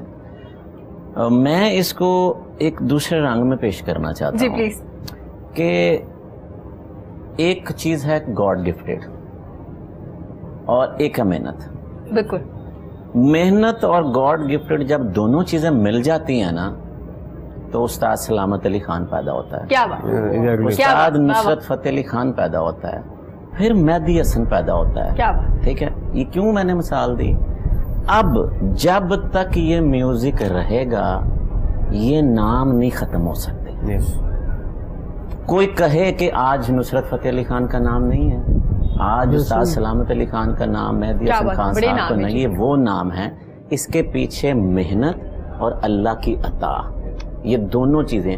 अच्छा अब होता पता क्या है? जो आप शॉर्टकट की बात कर रही हैं ये सारी चीज़ें जब हमारी मेहनत में कहीं हम में कमी रह गई है इसके साथ जो सबसे अहम चीज़ जो मैं बयान करना चाहता हूँ ना मैं समझता हूँ कि अल्लाह ताला आपकी मेहनत का हर इंसान को किसी ना किसी उसकी ज़िंदगी की स्टेज पे फल ज़रूर देता है। क्या है? ये हमारे सब्र और हमारी नीयत और खलूस का इम्तहान है। जो सच्चा फनकार है, वो सब्र वाला होगा, वो आजिज होगा खान साहब बैठे हुए हैं बड़े आराम से, उसको शो ऑफ़ से कोई गर्ज नहीं। क्या बात उसको अपनी कला से गर्ज है उसको अपने रियाज से गर्ज है उसको अपनी मेहनत से गर्ज है क्योंकि वो देख रहा है कि मुझे अल्लाह ने और यही इन लोगों के साथ हुआ कि नुसरत फतेह अली खान साहब की पूरी ज़िंदगी का रियाज देख लें और जब अल्लाह ने उनको मुकाम देना था तो ऐसा दिया। सलामत अली खान साहब के पीछे घराने का रियाज देख लें लेकिन अल्लाह ने सलामत अली खान को क्लासिकल मौसीकी में ऐसी अच्छा। चीज़ देनी थी कि वो ताहयात रहे। क्या बात मेहदी हसन खान साहब के पीछे देख लें और फिर मुकाम ये आया कि लता जैसी फनकार कहे कि इनके गले में तो भगवान है। क्या फिर ये चीज़ें मिलती हैं लेकिन उनके पीछे उन लोगों का जो सबर का पैमाना था उन्होंने अपनी खलूस और नीयत उन्हें बेईमानी अपने फन से नहीं की। इस वक्त जो प्रॉब्लम है। ना इस वक्त प्रॉब्लम ये है कि शॉर्टकट भले मॉडलिंग है भले आप एक्टर बनना चाहते कुछ भी, हैं भले आप डॉक्टर बनना चाहते हैं कुछ भी बनना चाहते हैं जब हम इन पैमानों से हट कर बाईपास कर कर चीज़ों को हासिल करते हैं ना तो वो जो सीढ़ी एकदम से जाती है उसी तरह वापस आती है। क्या बात है बड़ी बात की आपने और ये सच है बिल्कुल ऐसे कोई भी फ़ील्ड हो जिसमें अगर आप में सब्र नहीं है और आपकी नीयत साफ़ है तो कहीं ना कहीं आपका अल्लाह ताला फिर अल्लाह ने अपना आपका मुकाम रखा है। है। क्या बात है। डॉक्टर साहब डॉक्टर बनने में भी कोई शॉर्टकट है? गली मोहल्ले में भी क्लिनिक बन जाता है ना वो एक डॉक्टर साहब के पास कुछ दिन कुछ लड़का रहता है फिर उसके बाद वो भी डॉक्टर बन जाते हैं। जी बिल्कुल आप सही कहती हैं। अब यहाँ पे बदकिस्मती थोड़ी सी हमारे भी माशरे में यह है। मैं समझता हूँ कि इस वक्त स्पेशलिस्ट डॉक्टर से ज़्यादा मेडिकल स्टोर वाले की प्रैक्टिस है। डिस्पेंसर की प्रैक्टिस है। वो भी- आप जाके देख डिस्क्रिप्शन दे देते हैं। जी बिल्कुल। अच्छा इससे पहले मैं एक और बात करना चाहता हूँ हम्म, कि मैं अक्सर अपने टीवी प्रोग्रामों पे ये बात करता हूँ कि हमारा 25 करोड़ जो अवाम है ना वो खुद भी डॉक्टर हैं। बिल्कुल। हर घर मिनी मेडिकल स्टोर है। बिल्कुल। आप मेडिकल स्टोर जाने से पहले सर दर्द बुखार की दवाई तो खुद घर में खाती हैं। फिर नहीं ठीक होना तो मेडिकल स्टोर नहीं ठीक हमारी होना तो फिर जो मेडिसिन है जो हम सब खाते हैं। नहीं ठीक होना तो फिर मोहल्ले का डॉक्टर नहीं ठीक होना तो फिर अस्पताल। डॉक्टर साहब मोहल्ले में अगर कोई खातून एक बिल्कुल, मेडिसिन ले लेना अगर वो ठीक हो जाए ना तो अगर किसी और को हार्ट पेशेंट भी है ना तो उसको भी रिकमेंड कर देती भाई मैंने ये खाई थी जी हो बिल्कुल और ये बात बहुत कॉमन है। मेरे पास अगर कोई डायबिटीज़ का पेशेंट या किडनी का या ब्लड प्रेशर का पेशेंट आता है ना तो मैं उसको दवाई लिख के देता हूँ। अब हो क्या रहा होता है? एक दफ़ा ऐसा हुआ ये। कोई बहुत पुरानी बात नहीं चंद महीने पहले की बात है। मेरी एक पेशेंट थी तो वो ब्लड प्रेशर और शुगर की मरीजा थी साथ गुर्दे कमज़ोर थे। तो मैंने उनको ब्लड प्रेशर की दवाइयाँ सेट करके दी शुगर की दवाइयाँ सेट कर दी। हुआ ये कि उनका बेटा साथ आता था। जी। अब उसके बाप को ना शुगर हो गई। ब्लड प्रेशर हो गया सॉरी ठीक है। उसने क्या किया कि उसने जो अपनी अम्मी की दवा जो मैंने लिखी थी ना ब्लड प्रेशर की उसने वो दवाई उठाई और अपने बाप को दे दी। वो उसने तीन दिन इस्तेमाल की और उसके बाद अचानक एक दिन उनके फादर जो हैं वो हॉस्पिटल में आईसीयू में एडमिट होते हैं और उनका हार्ट रेट जो है सिर्फ़ thirty thirty five thirty three उनको इमीडिएटली पेसमेकर लगाया गया। मैं जब अपने राउंड पे था तो उसका बेटा वो बड़ी परेशानी में डॉक्टर साहब जी जी। की तबीयत खराब हो गई। अब होता यह है कि जब हम पेशेंट को थोड़ा सेव कर लेते हैं तो फिर हम हिस्ट्री लेते हैं कि एक्चुअल हुआ क्या इवेंट क्या हुआ। तो मैंने उससे पूछा मैंने कहा कि इनकी तबीयत खराब कैसे हुई? तो कहते हैं जी वो जो अम्मी को आपने ब्लड प्रेशर की दवाई लिखी थी ना तो अबू का ब्लड प्रेशर बढ़ गया तो मैंने वो दे दी। अब मैं उनकी अम्मी की प्रेस्क्रिप्शन पे दिया तो देखें उनकी वालदा जो हैं वो हार्ट की पेशेंट थी शुगर की पेशेंट थी किडनी की पेशेंट थी उनके लिए जो दवाई का इंतखाब था उनकी मुताबिक था।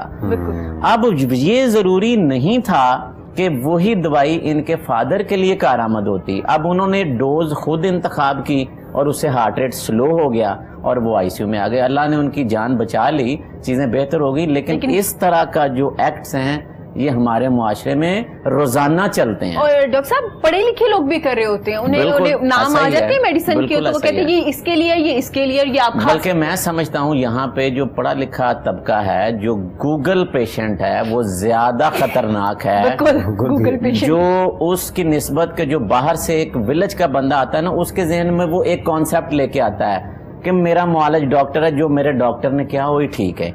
लेकिन जो पढ़ा लिखा तबका है वो गूगल पे आया नहीं जी गूगल पे ये लिखा है। नहीं जी फला अगर गूगल ने इलाज करना होता तो अमेरिका में डॉक्टर खत्म हो जाते गूगल बनता वहाँ पे। अस्पताल बंद हो जाए आप गूगल पर सारी चीज़ें करें तो ये चीज़ें नहीं है। आप इलम में अपना इजाफा कर सकते हैं। लेकिन अभी भी जो इलाज दवाई की तजवीज़ और प्रेस्क्रिप्शन है, वो अपने मुआलज से हासिल बिल्कुल। खान साहब हमारे साथ मौजूद है। खान साहब, हमारे यहाँ सिचुएशन ये हुई, जो कि लम्हा फिक्रिया थी जिनकी विरासत में गाना था, जिनके घराने थे, वो लोग हमें कम नज़र आए। इवेंट्स में कॉन्सर्ट में, उनको इतना नहीं दिखाया गया या उनको इतना आगे नहीं लाया गया जितने दूसरे लोग जिन्हों जिनकी फैमिली में भी कोई सिंगर नहीं था। ठीक है डॉक्टर साहब की बात से मैं एग्री करती हूँ गॉड गिफ्टेड भी होते हैं लोग। लेकिन वो लोग ज़्यादा आगे नज़र नहीं आए ना उनके बच्चे। नहीं आज से 20 साल पहले हम लोग ही थे हर तरफ़ हर चैनल पे। अल्लाह के फजल से चार इस घराने को प्राइड परफॉर्मेंस मिले हैं। बिल्कुल। जिसमें उस्ताद सलामत अली खान साहब को दो दफ़ा प्राइड परफॉर्मेंस इस गवर्नमेंट ने दिया है। उसके बाद मेरे कज़न हैं शफकत अली खान उनको प्राइड परफॉर्मेंस मिला। रफाकत अली खान इतना इतना अच्छा गाए वो इतना अच्छा दुनिया में गाए कि सुबहान इम्तियाज़ अली खान रियाज अली खान बेन खान साहब इनकी गायकी पे कोई शक ही नहीं है क्या उन्होंने गाया। लेकिन उस तरह से जितने दूसरे लोग हिट नज़र आते हैं जितना उनको प्रोटोकॉल दिया जा रहा है जि, जितना उनको ये भी हम लोगों से सीख के आ रहे हैं। ये अल्लाह का फजल है कि आज भी ये हम लोगों को तलब करते हैं तो हम लोगों से गाना सीखते तो अल्लाह इनको हिट करे।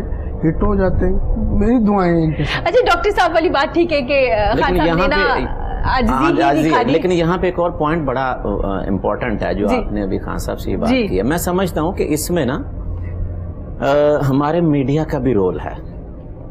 जब हमने अपनी असली जो गायकी है उसको प्रमोट उतना नहीं किया तो हम्म। ये लोग फिर जो ओरिजिनल हमारा सिंगर है ना वो पीछे से पीछे चला जाता गया।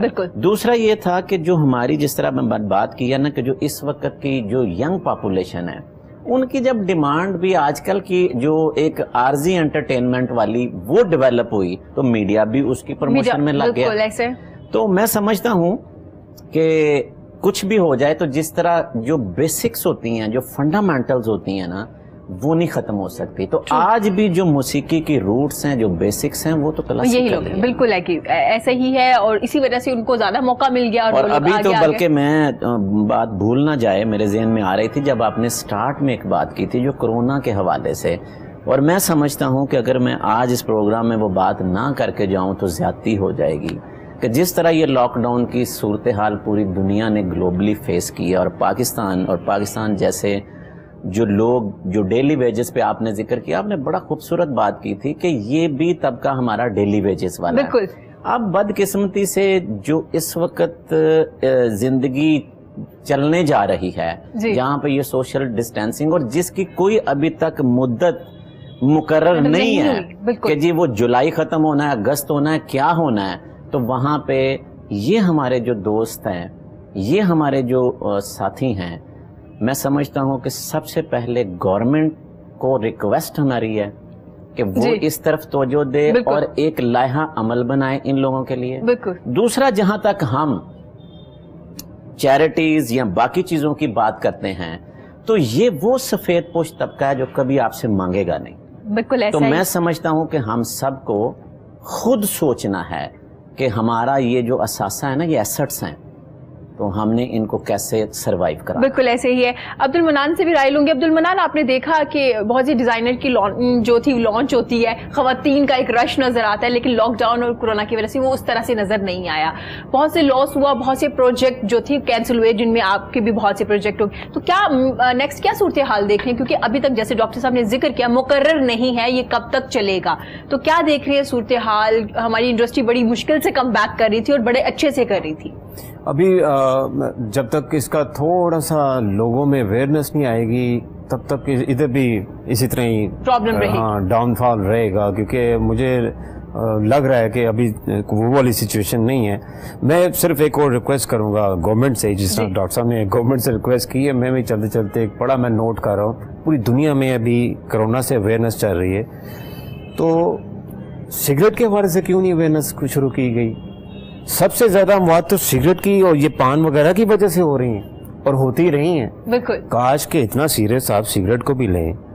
तो जो कैंसर जो मुँह का कैंसर है जो आपके फेफड़ों का कैंसर है इससे तो हमारी नौजवान नस्ल बचे। और ऑनेस्टली मैं जितने छोटी एज के अब लड़के देख रहा हूँ जो सिगरेट से इन्वॉल्व हैं और छुप छुप के सिगरेट पी रहे हैं जी। मैंने कभी आज तक ज़िंदगी में इस तरह नहीं देखा था। छुप छुप के लोग बच्चे छोटे जो हैं अब तो टेंथ क्लास का भी बच्चा उसे भी पता चल गया पेंसिल के अंदर मैं स्पारी डालूँगा तो उसे स्निफ करूँगा तो मुझे बड़ा सरूर मिलता है। This is how is happening it is happening I mean ये कब कॉलेजेस में जो सबसे ज़्यादा इस वक्त इनकम पैसे वो कमा रहा है जो नशा बेच रहा है।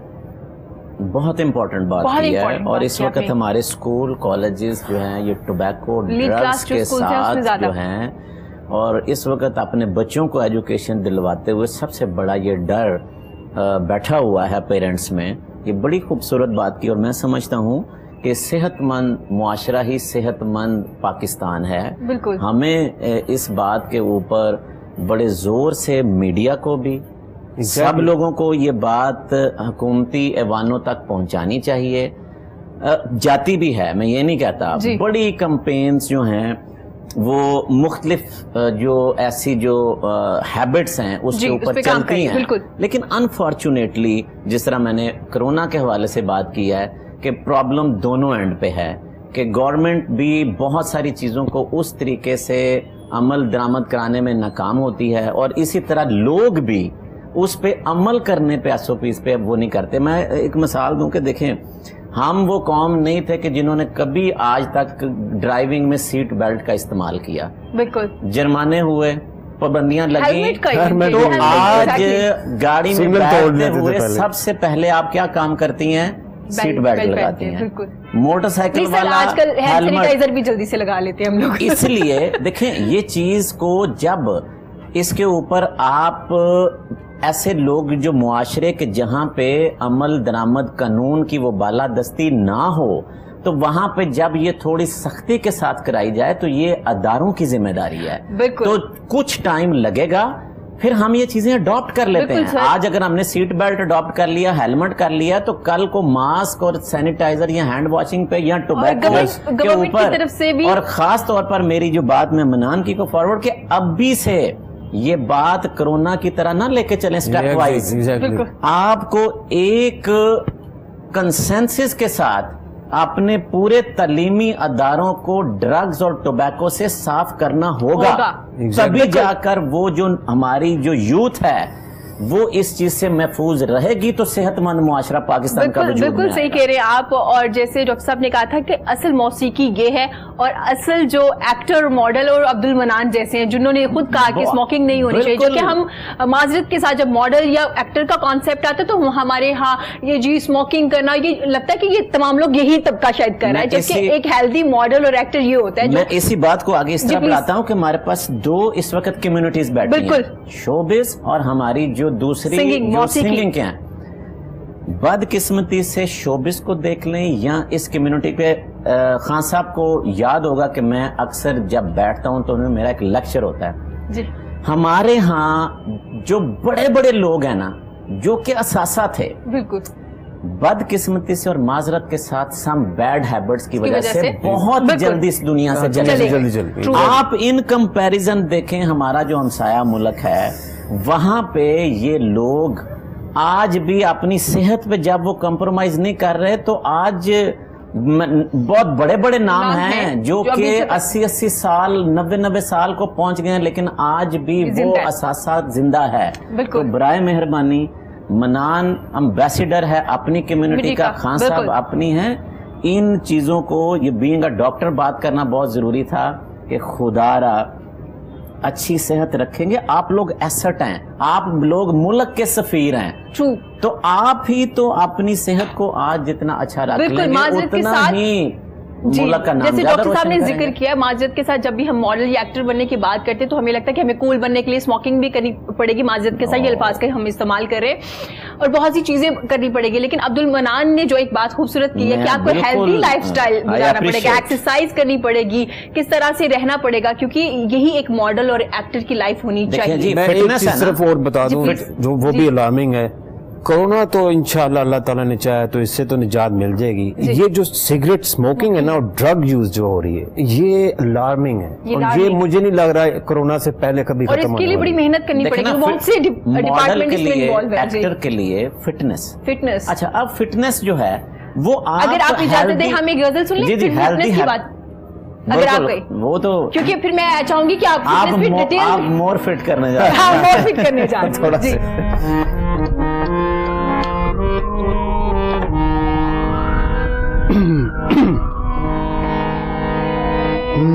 को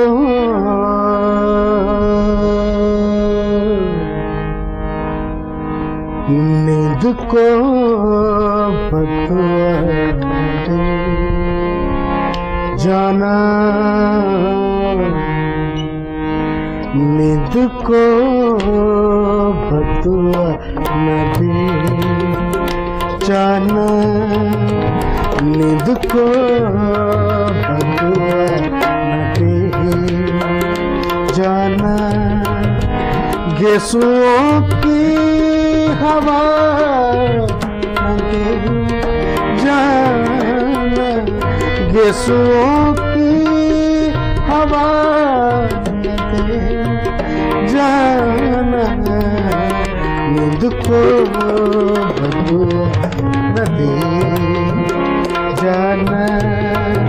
न नींद को क्या बात है। मुझको बदुआ न दे जाना यीशुओं की हवा न दे। जाना यीशुओं की हवा न दे। जाना मुझको बदुआ न दे। जाना बदुआ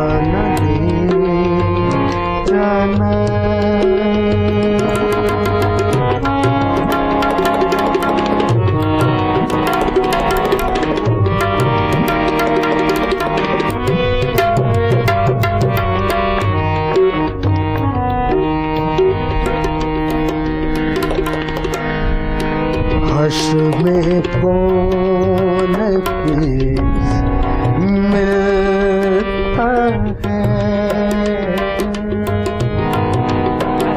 में हश में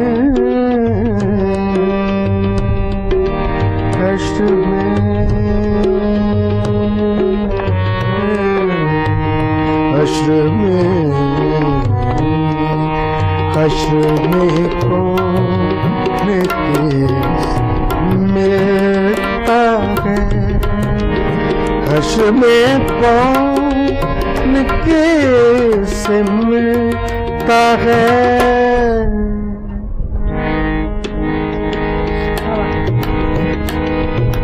हश का आसरा दे। जाना हश का जाना यीशुओं की हवा न दे की हवा न दे जाना तुझको बदुआ जाना बदुआ न दे जाना।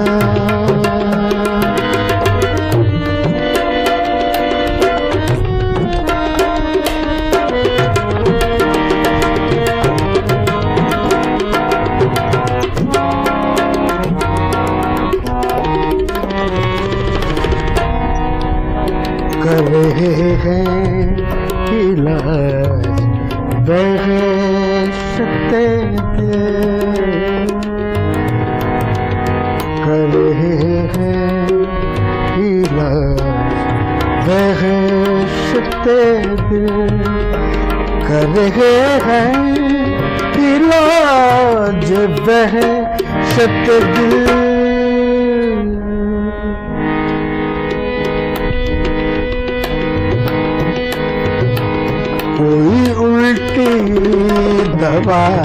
दे जाना। कोई उल्टी दे जाना। यीशुओं की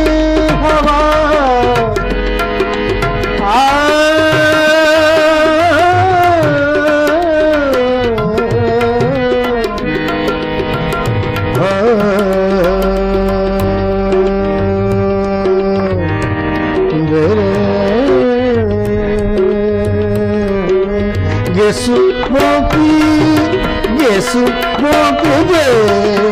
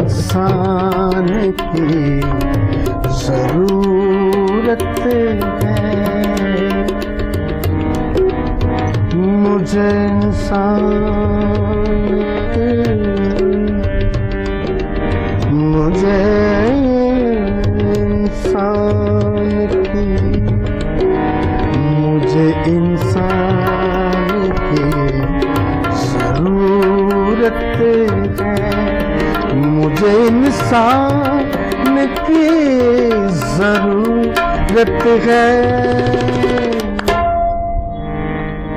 रहम खा कर खुदा न दे जाना। रहम खा कर खुदा न दे जाना। यीशुओं की हवा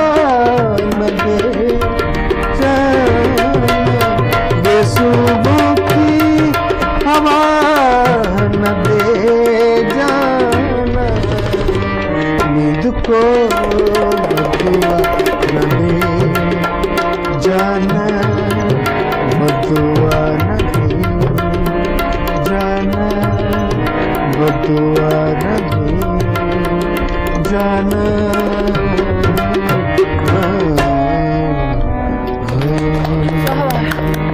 बहुत क्या बात है क्या बात डॉक्टर साहब क्या कहना चाहेंगे आप? जी ज़बरदस्त। अब्दुल मनान आप बताएँ? दो एक बात बड़ी अहम इन्होंने कही है उल्टी दवा न दे दे डॉक्टर साहब ने वो ना अंदर से निकाल लिया। एकदम मैं आपकी तरफ़ ही देख रहा था। बिल्कुल बिल्कुल। क्या बात है देखो उन्होंने अपनी। फिर से रिलेटेड एक लाइन अंदर से निकाल ली है और नहीं वैसे भी अभी जो एक और खूबसूरत आखिर में बात की है कि इंसान की ज़रूरत। की ज़रूरत है। क्या बात। ठीक है? अभी खाकर खुदा न दे। खुदा न दे जाना। इस वक्त आप देखें। कि इंसानियत की हम बात करते हैं ना तो वो बहुत ज़रूरी है। अमेरिका देखें कि एक रेसिज्म के ऊपर जाकर तबाही के। दहाने पर चला गया। बिल्कुल। ठीक है? और वहाँ पर जो असल बात है कि एक काले की मौत हुई लेकिन आप इस वक्त एहतजाज में देखें कि कोई काले गोरे की बात नहीं है। और मैं इसको रिलेट इस तरीके से कर रहा था पिछले चंद दिनों में कि हमारे नबी पाक सल्लल्लाहु अलैहि वसल्लम का आखिरी खुतबा। किसी अरबी को किसी कि किसी अरबी को अजमी पर फोकियत नहीं अजमी को पे किसी- नहीं किसी सफ़ेद और काला। ये बात बात आप देखें।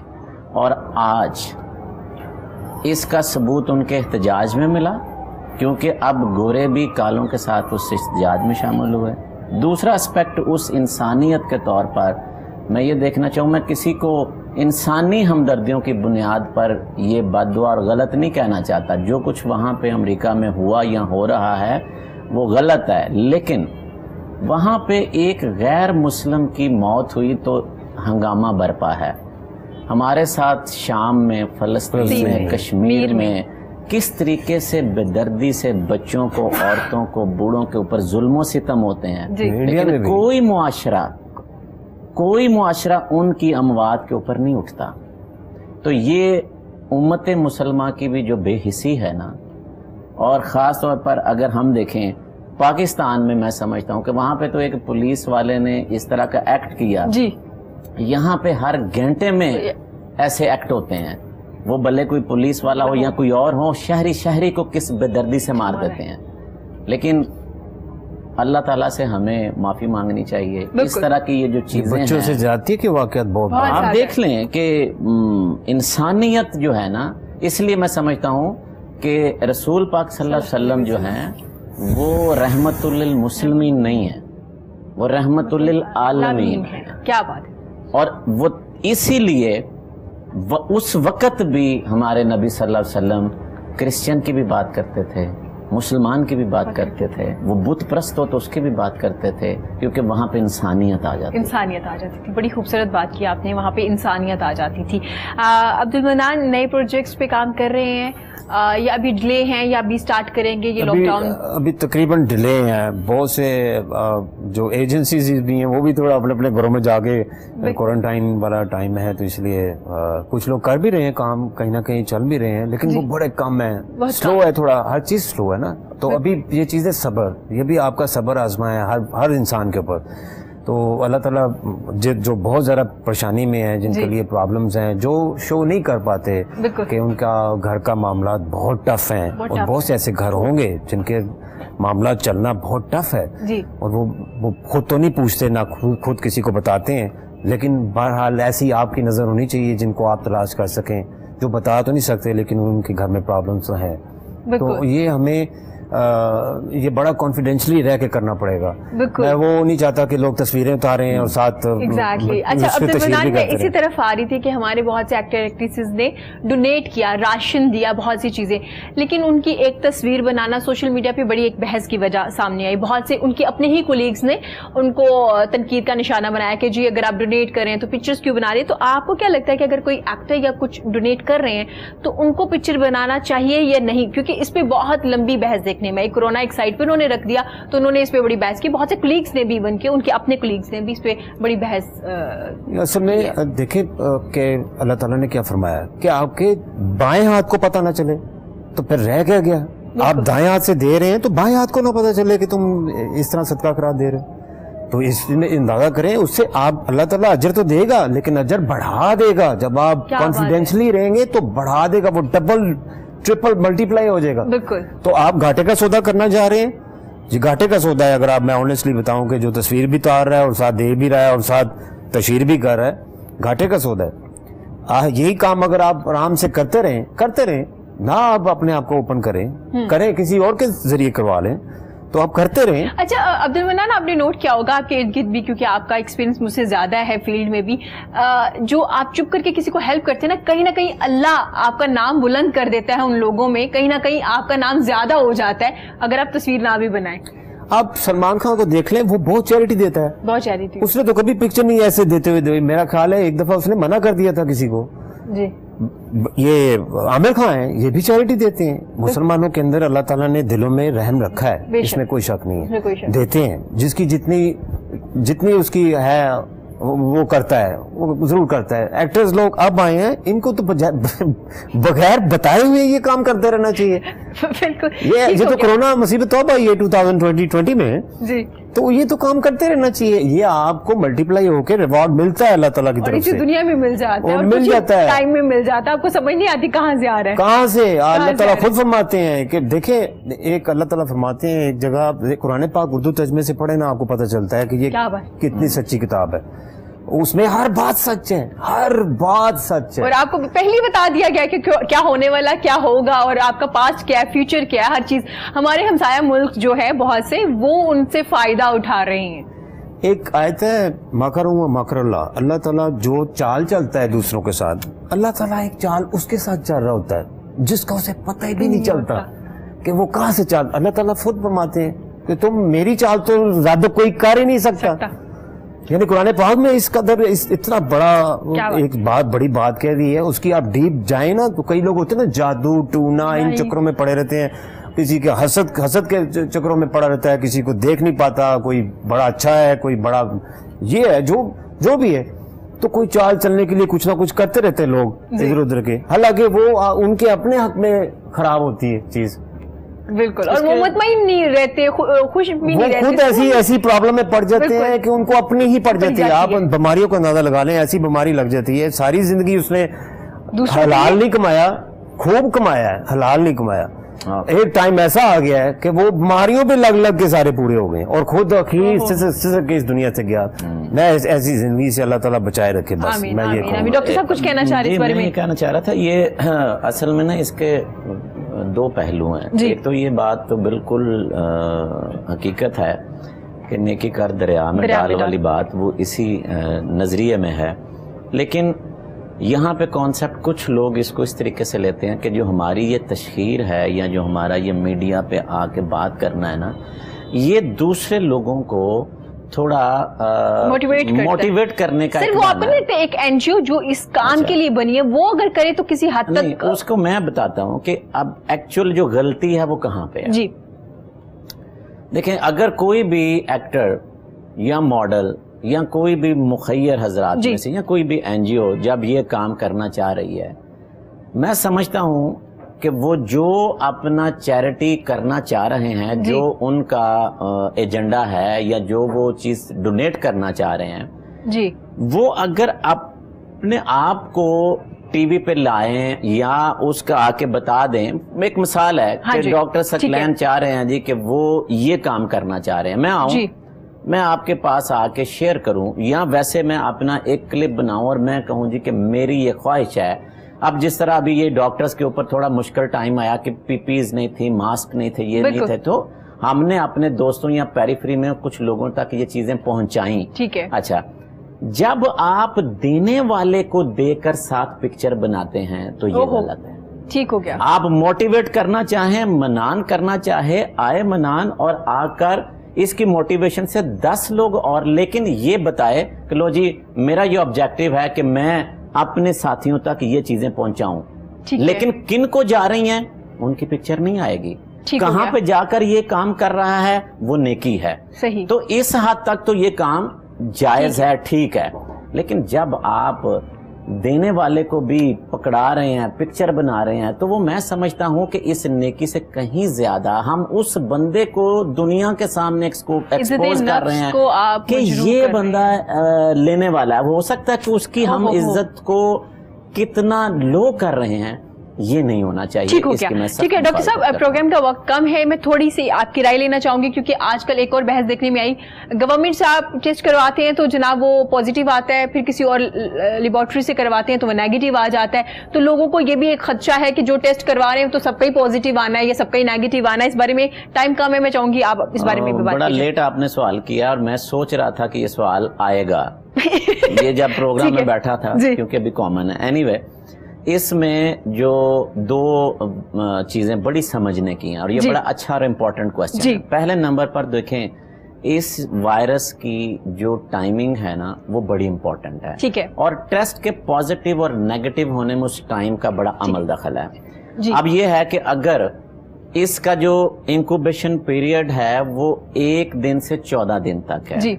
एक मिसाल है कि आपको अलामात आई हैं पहले आपने इग्नोर किया लेकिन जब आप टेस्ट कराने गए हैं तो आप अगर इस बीमारी के अमल में कोई आठवें या दसवें दिन हैं। जी। अच्छा वो आखिरी दिन था कि जहाँ पे आपका टेस्ट अगले दिन नेगेटिव होगा। ठीक है। यानी कि फ़ेज़ वायरस किया कि ब्लड से डिलीट होना शुरू हो गया है। अच्छा उस पे अब आपने एक दिन टेस्ट कराया एक लेबोरेटरी से पॉजिटिव आ गया। अगले 24 घंटों में वो वायरस की फ़ेज़ आपकी बॉडी से हम्म। कम हो के आपका लेवल इतना लो हो गया है कि अब चूँकि आप रिकवरी फ़ेज़ में आ गए सही। तो आप अगले दिन या दो दिन के बाद दूसरी लेबोरेटरी पे अपना जाकर टेस्ट रिपीट करते हैं तो वो नेगेटिव आ जाता है। सही। अच्छा अब आप ब्लेम देना शुरू कर देते हैं पहली लेबोरेटरी को ठीक है। जी वो गलत था। ऐसा नहीं है ऐसी सिचुएशन आपके साथ हो सकती है टाइमिंग में। दूसरा जो एस्पेक्ट है ना इसका जो सैंपल लिया जा रहा है ना। उसकी टेक्निक का भी बड़ा अमल है ये मैं जाती तौर पर समझता हूँ। आज भी सुबह मेरी हॉस्पिटल में इस बात पे डिबेट हुई। देखें जो सैंपल लिया जा रहा है ना ठीक है। ये जो स्वैब है ना जो पीसीआर की हम बात हाँ कर रहे हैं ये हमारे साइनस के हाँ। यही बात बिल्कुल कि आप समझ रहे हैं कि नाक के अंदर से। जी।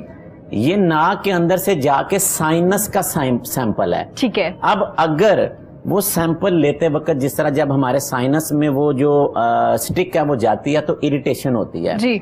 अब लेने वाले ने इरिटेशन के तहत वो अभी नोज़ में ही था तो वो साइनस तक नहीं जा सका तो यहाँ पे सैंपल नेगेटिव आ सकता है। दूसरी लेबोरेटरी ने जब आपका सैंपल लिया तो वो प्रॉपर साइनस से सैंपल आया तो पॉजिटिव आ गया। तो यहाँ पे मैं समझता हूँ कि ये प्रॉब्लम आ सकते हैं। इससे एक और बड़ी बात। जी। ये जो पीसीआर टेस्ट है ना इसकी सेंसिटिविटी है 70 टू 75 परसेंट ठीक है। तो यानी कि 75 परसेंट तक तो ये सेंसिटिव है। 20-25 परसेंट तक इसकी सेंसिटिविटी टेस्ट की अपनी भी वो भले अमेरिका में टेस्ट हो रहा है या पाकिस्तान में में हो रहा है ठीक है। तो यहाँ पे वो नेगेटिव पॉजिटिव की फ़ेज़ आ सकती है ठीक हो गया। इसलिए डोंट ब्लेम के जी कोई लेबोरेटरी गलत कर रही है या कुछ कर रही है ठीक है ये प्रॉब्लम इसमें आ सकते हैं सही। देखें आप 10 दिन के बाद जाकर टेस्ट कराते हैं सिचुएशन और होगी आप बीमारी की अर्ली फ़ेज़ में टेस्ट कराते हैं Situation। तो सिचुएशन और ठीक हो गया। बहुत शुक्रिया डॉक्टर साहब। आपका अब्दुल मनान आप क्या मैसेज देना चाहेंगे प्रोग्राम के एंड पे?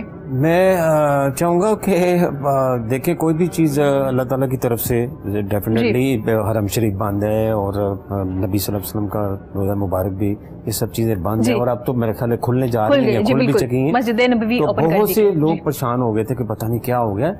इस परेशानी से कुछ चीज़ें और ज़्यादा हावी हो जाती हैं। हाँ तो अब ये बेहतरीन मौका है अल्लाह ताला से आप गिड़गड़ा के मांगें अपने लिए और अपने रिलेटिव्स के लिए सबके लिए दुआएँ मांगें। और इसमें कोई वो और नहीं है कि आप घबरा के तो कोई उल्ट कदम उठा लें। मैं डॉक्टर साहब से पूछना चाहूँगा कि डॉक्टर साहब आप कोई ऐसी टिप बताएँ जिससे ये हम इस मर्ज से बचे रहें। जी। बहुत खूबसूरत और वही मैसेज देने जा रहा था। मेडिकल देखें। बगैर पैसों की ये और इन्वेस्टमेंट की टिप है। अगर हम दुनिया का लाइफस्टाइल चेंज होता देख रहे हैं जी। सबसे पहले तो मेरी तमाम अपने मुआशरे से ये गुजारिश है हुकूमत को छोड़ दें कि कर पा रही है या नहीं, नहीं कर, कर पा रही, हमें है। इससे कोई गर्ज नहीं होनी चाहिए। मैंने क्या करना है हमने क्या करना है इस पे आए। एक मास्क अगर लगाकर आप बाज़ार जाएँगे या रश में जाएँगे तो आपकी हिफाजत है। और आपकी वजह से दूसरों की भी। हाथ बार बार धो लेंगे साबुन के साथ ना सैनिटाइजर इस्तेमाल करें कोई पैसा नहीं लगता। आप चंद महीनों के लिए अपने प्यारों से गले नहीं मिलेंगे हाथ नहीं मिलाएँगे या ऐसी गैदरिंग्स नहीं करेंगे इस पे कोई पैसा नहीं बल्कि बचत होती है। ठीक हो गया। ये तीन वो टिप्स हैं मनान कि अगर हम इसको अपना लें जिस तरह हमने सीट बेल्ट को अपनाया हेलमेट को अपनाया तो हम इस बीमारी के ऊपर बहुत जल्दी जो फर्दर ये वेव जो राइजिंग स्पाइक है ना इसको नीचे लाने में कामयाब हो जाएँगे। और जैसे ही ये जो राइजिंग स्पाइक आपकी कम आएगी तो आप अपनी बैक टू नॉर्मल लाइफ में आ सकते हैं। ओके बहुत शुक्रिया डॉक्टर साहब। आपका अब्दुल मनान आपका बहुत शुक्रिया। खान साहब आपका बहुत शुक्रिया। प्रोग्राम के एंड पे हम आपकी खूबसूरत आवाज़ में गज़ल भी सुनेंगे। इसी के साथ मुझे इजाज़त दीजिए। खुश रहिए। इर्द गिर्द के लोगों का बहुत ज़्यादा ख्याल रखिए और अपने प्यारों का भी बहुत ज़्यादा ख्याल रखिए। अल्लाह हाफिज।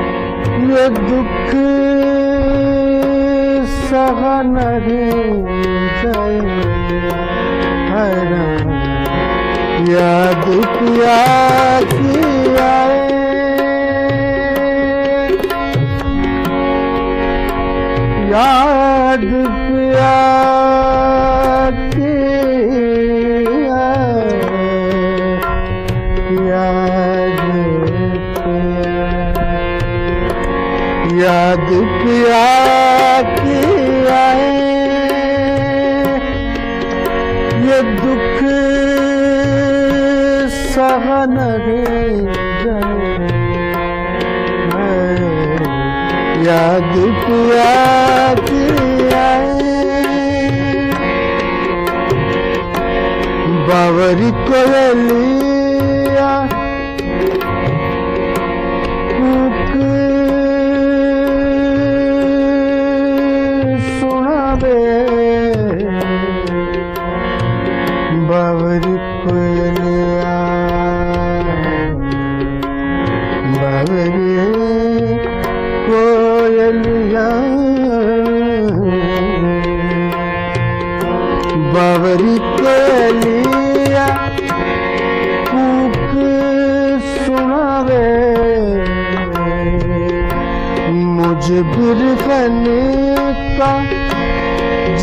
जियारा जला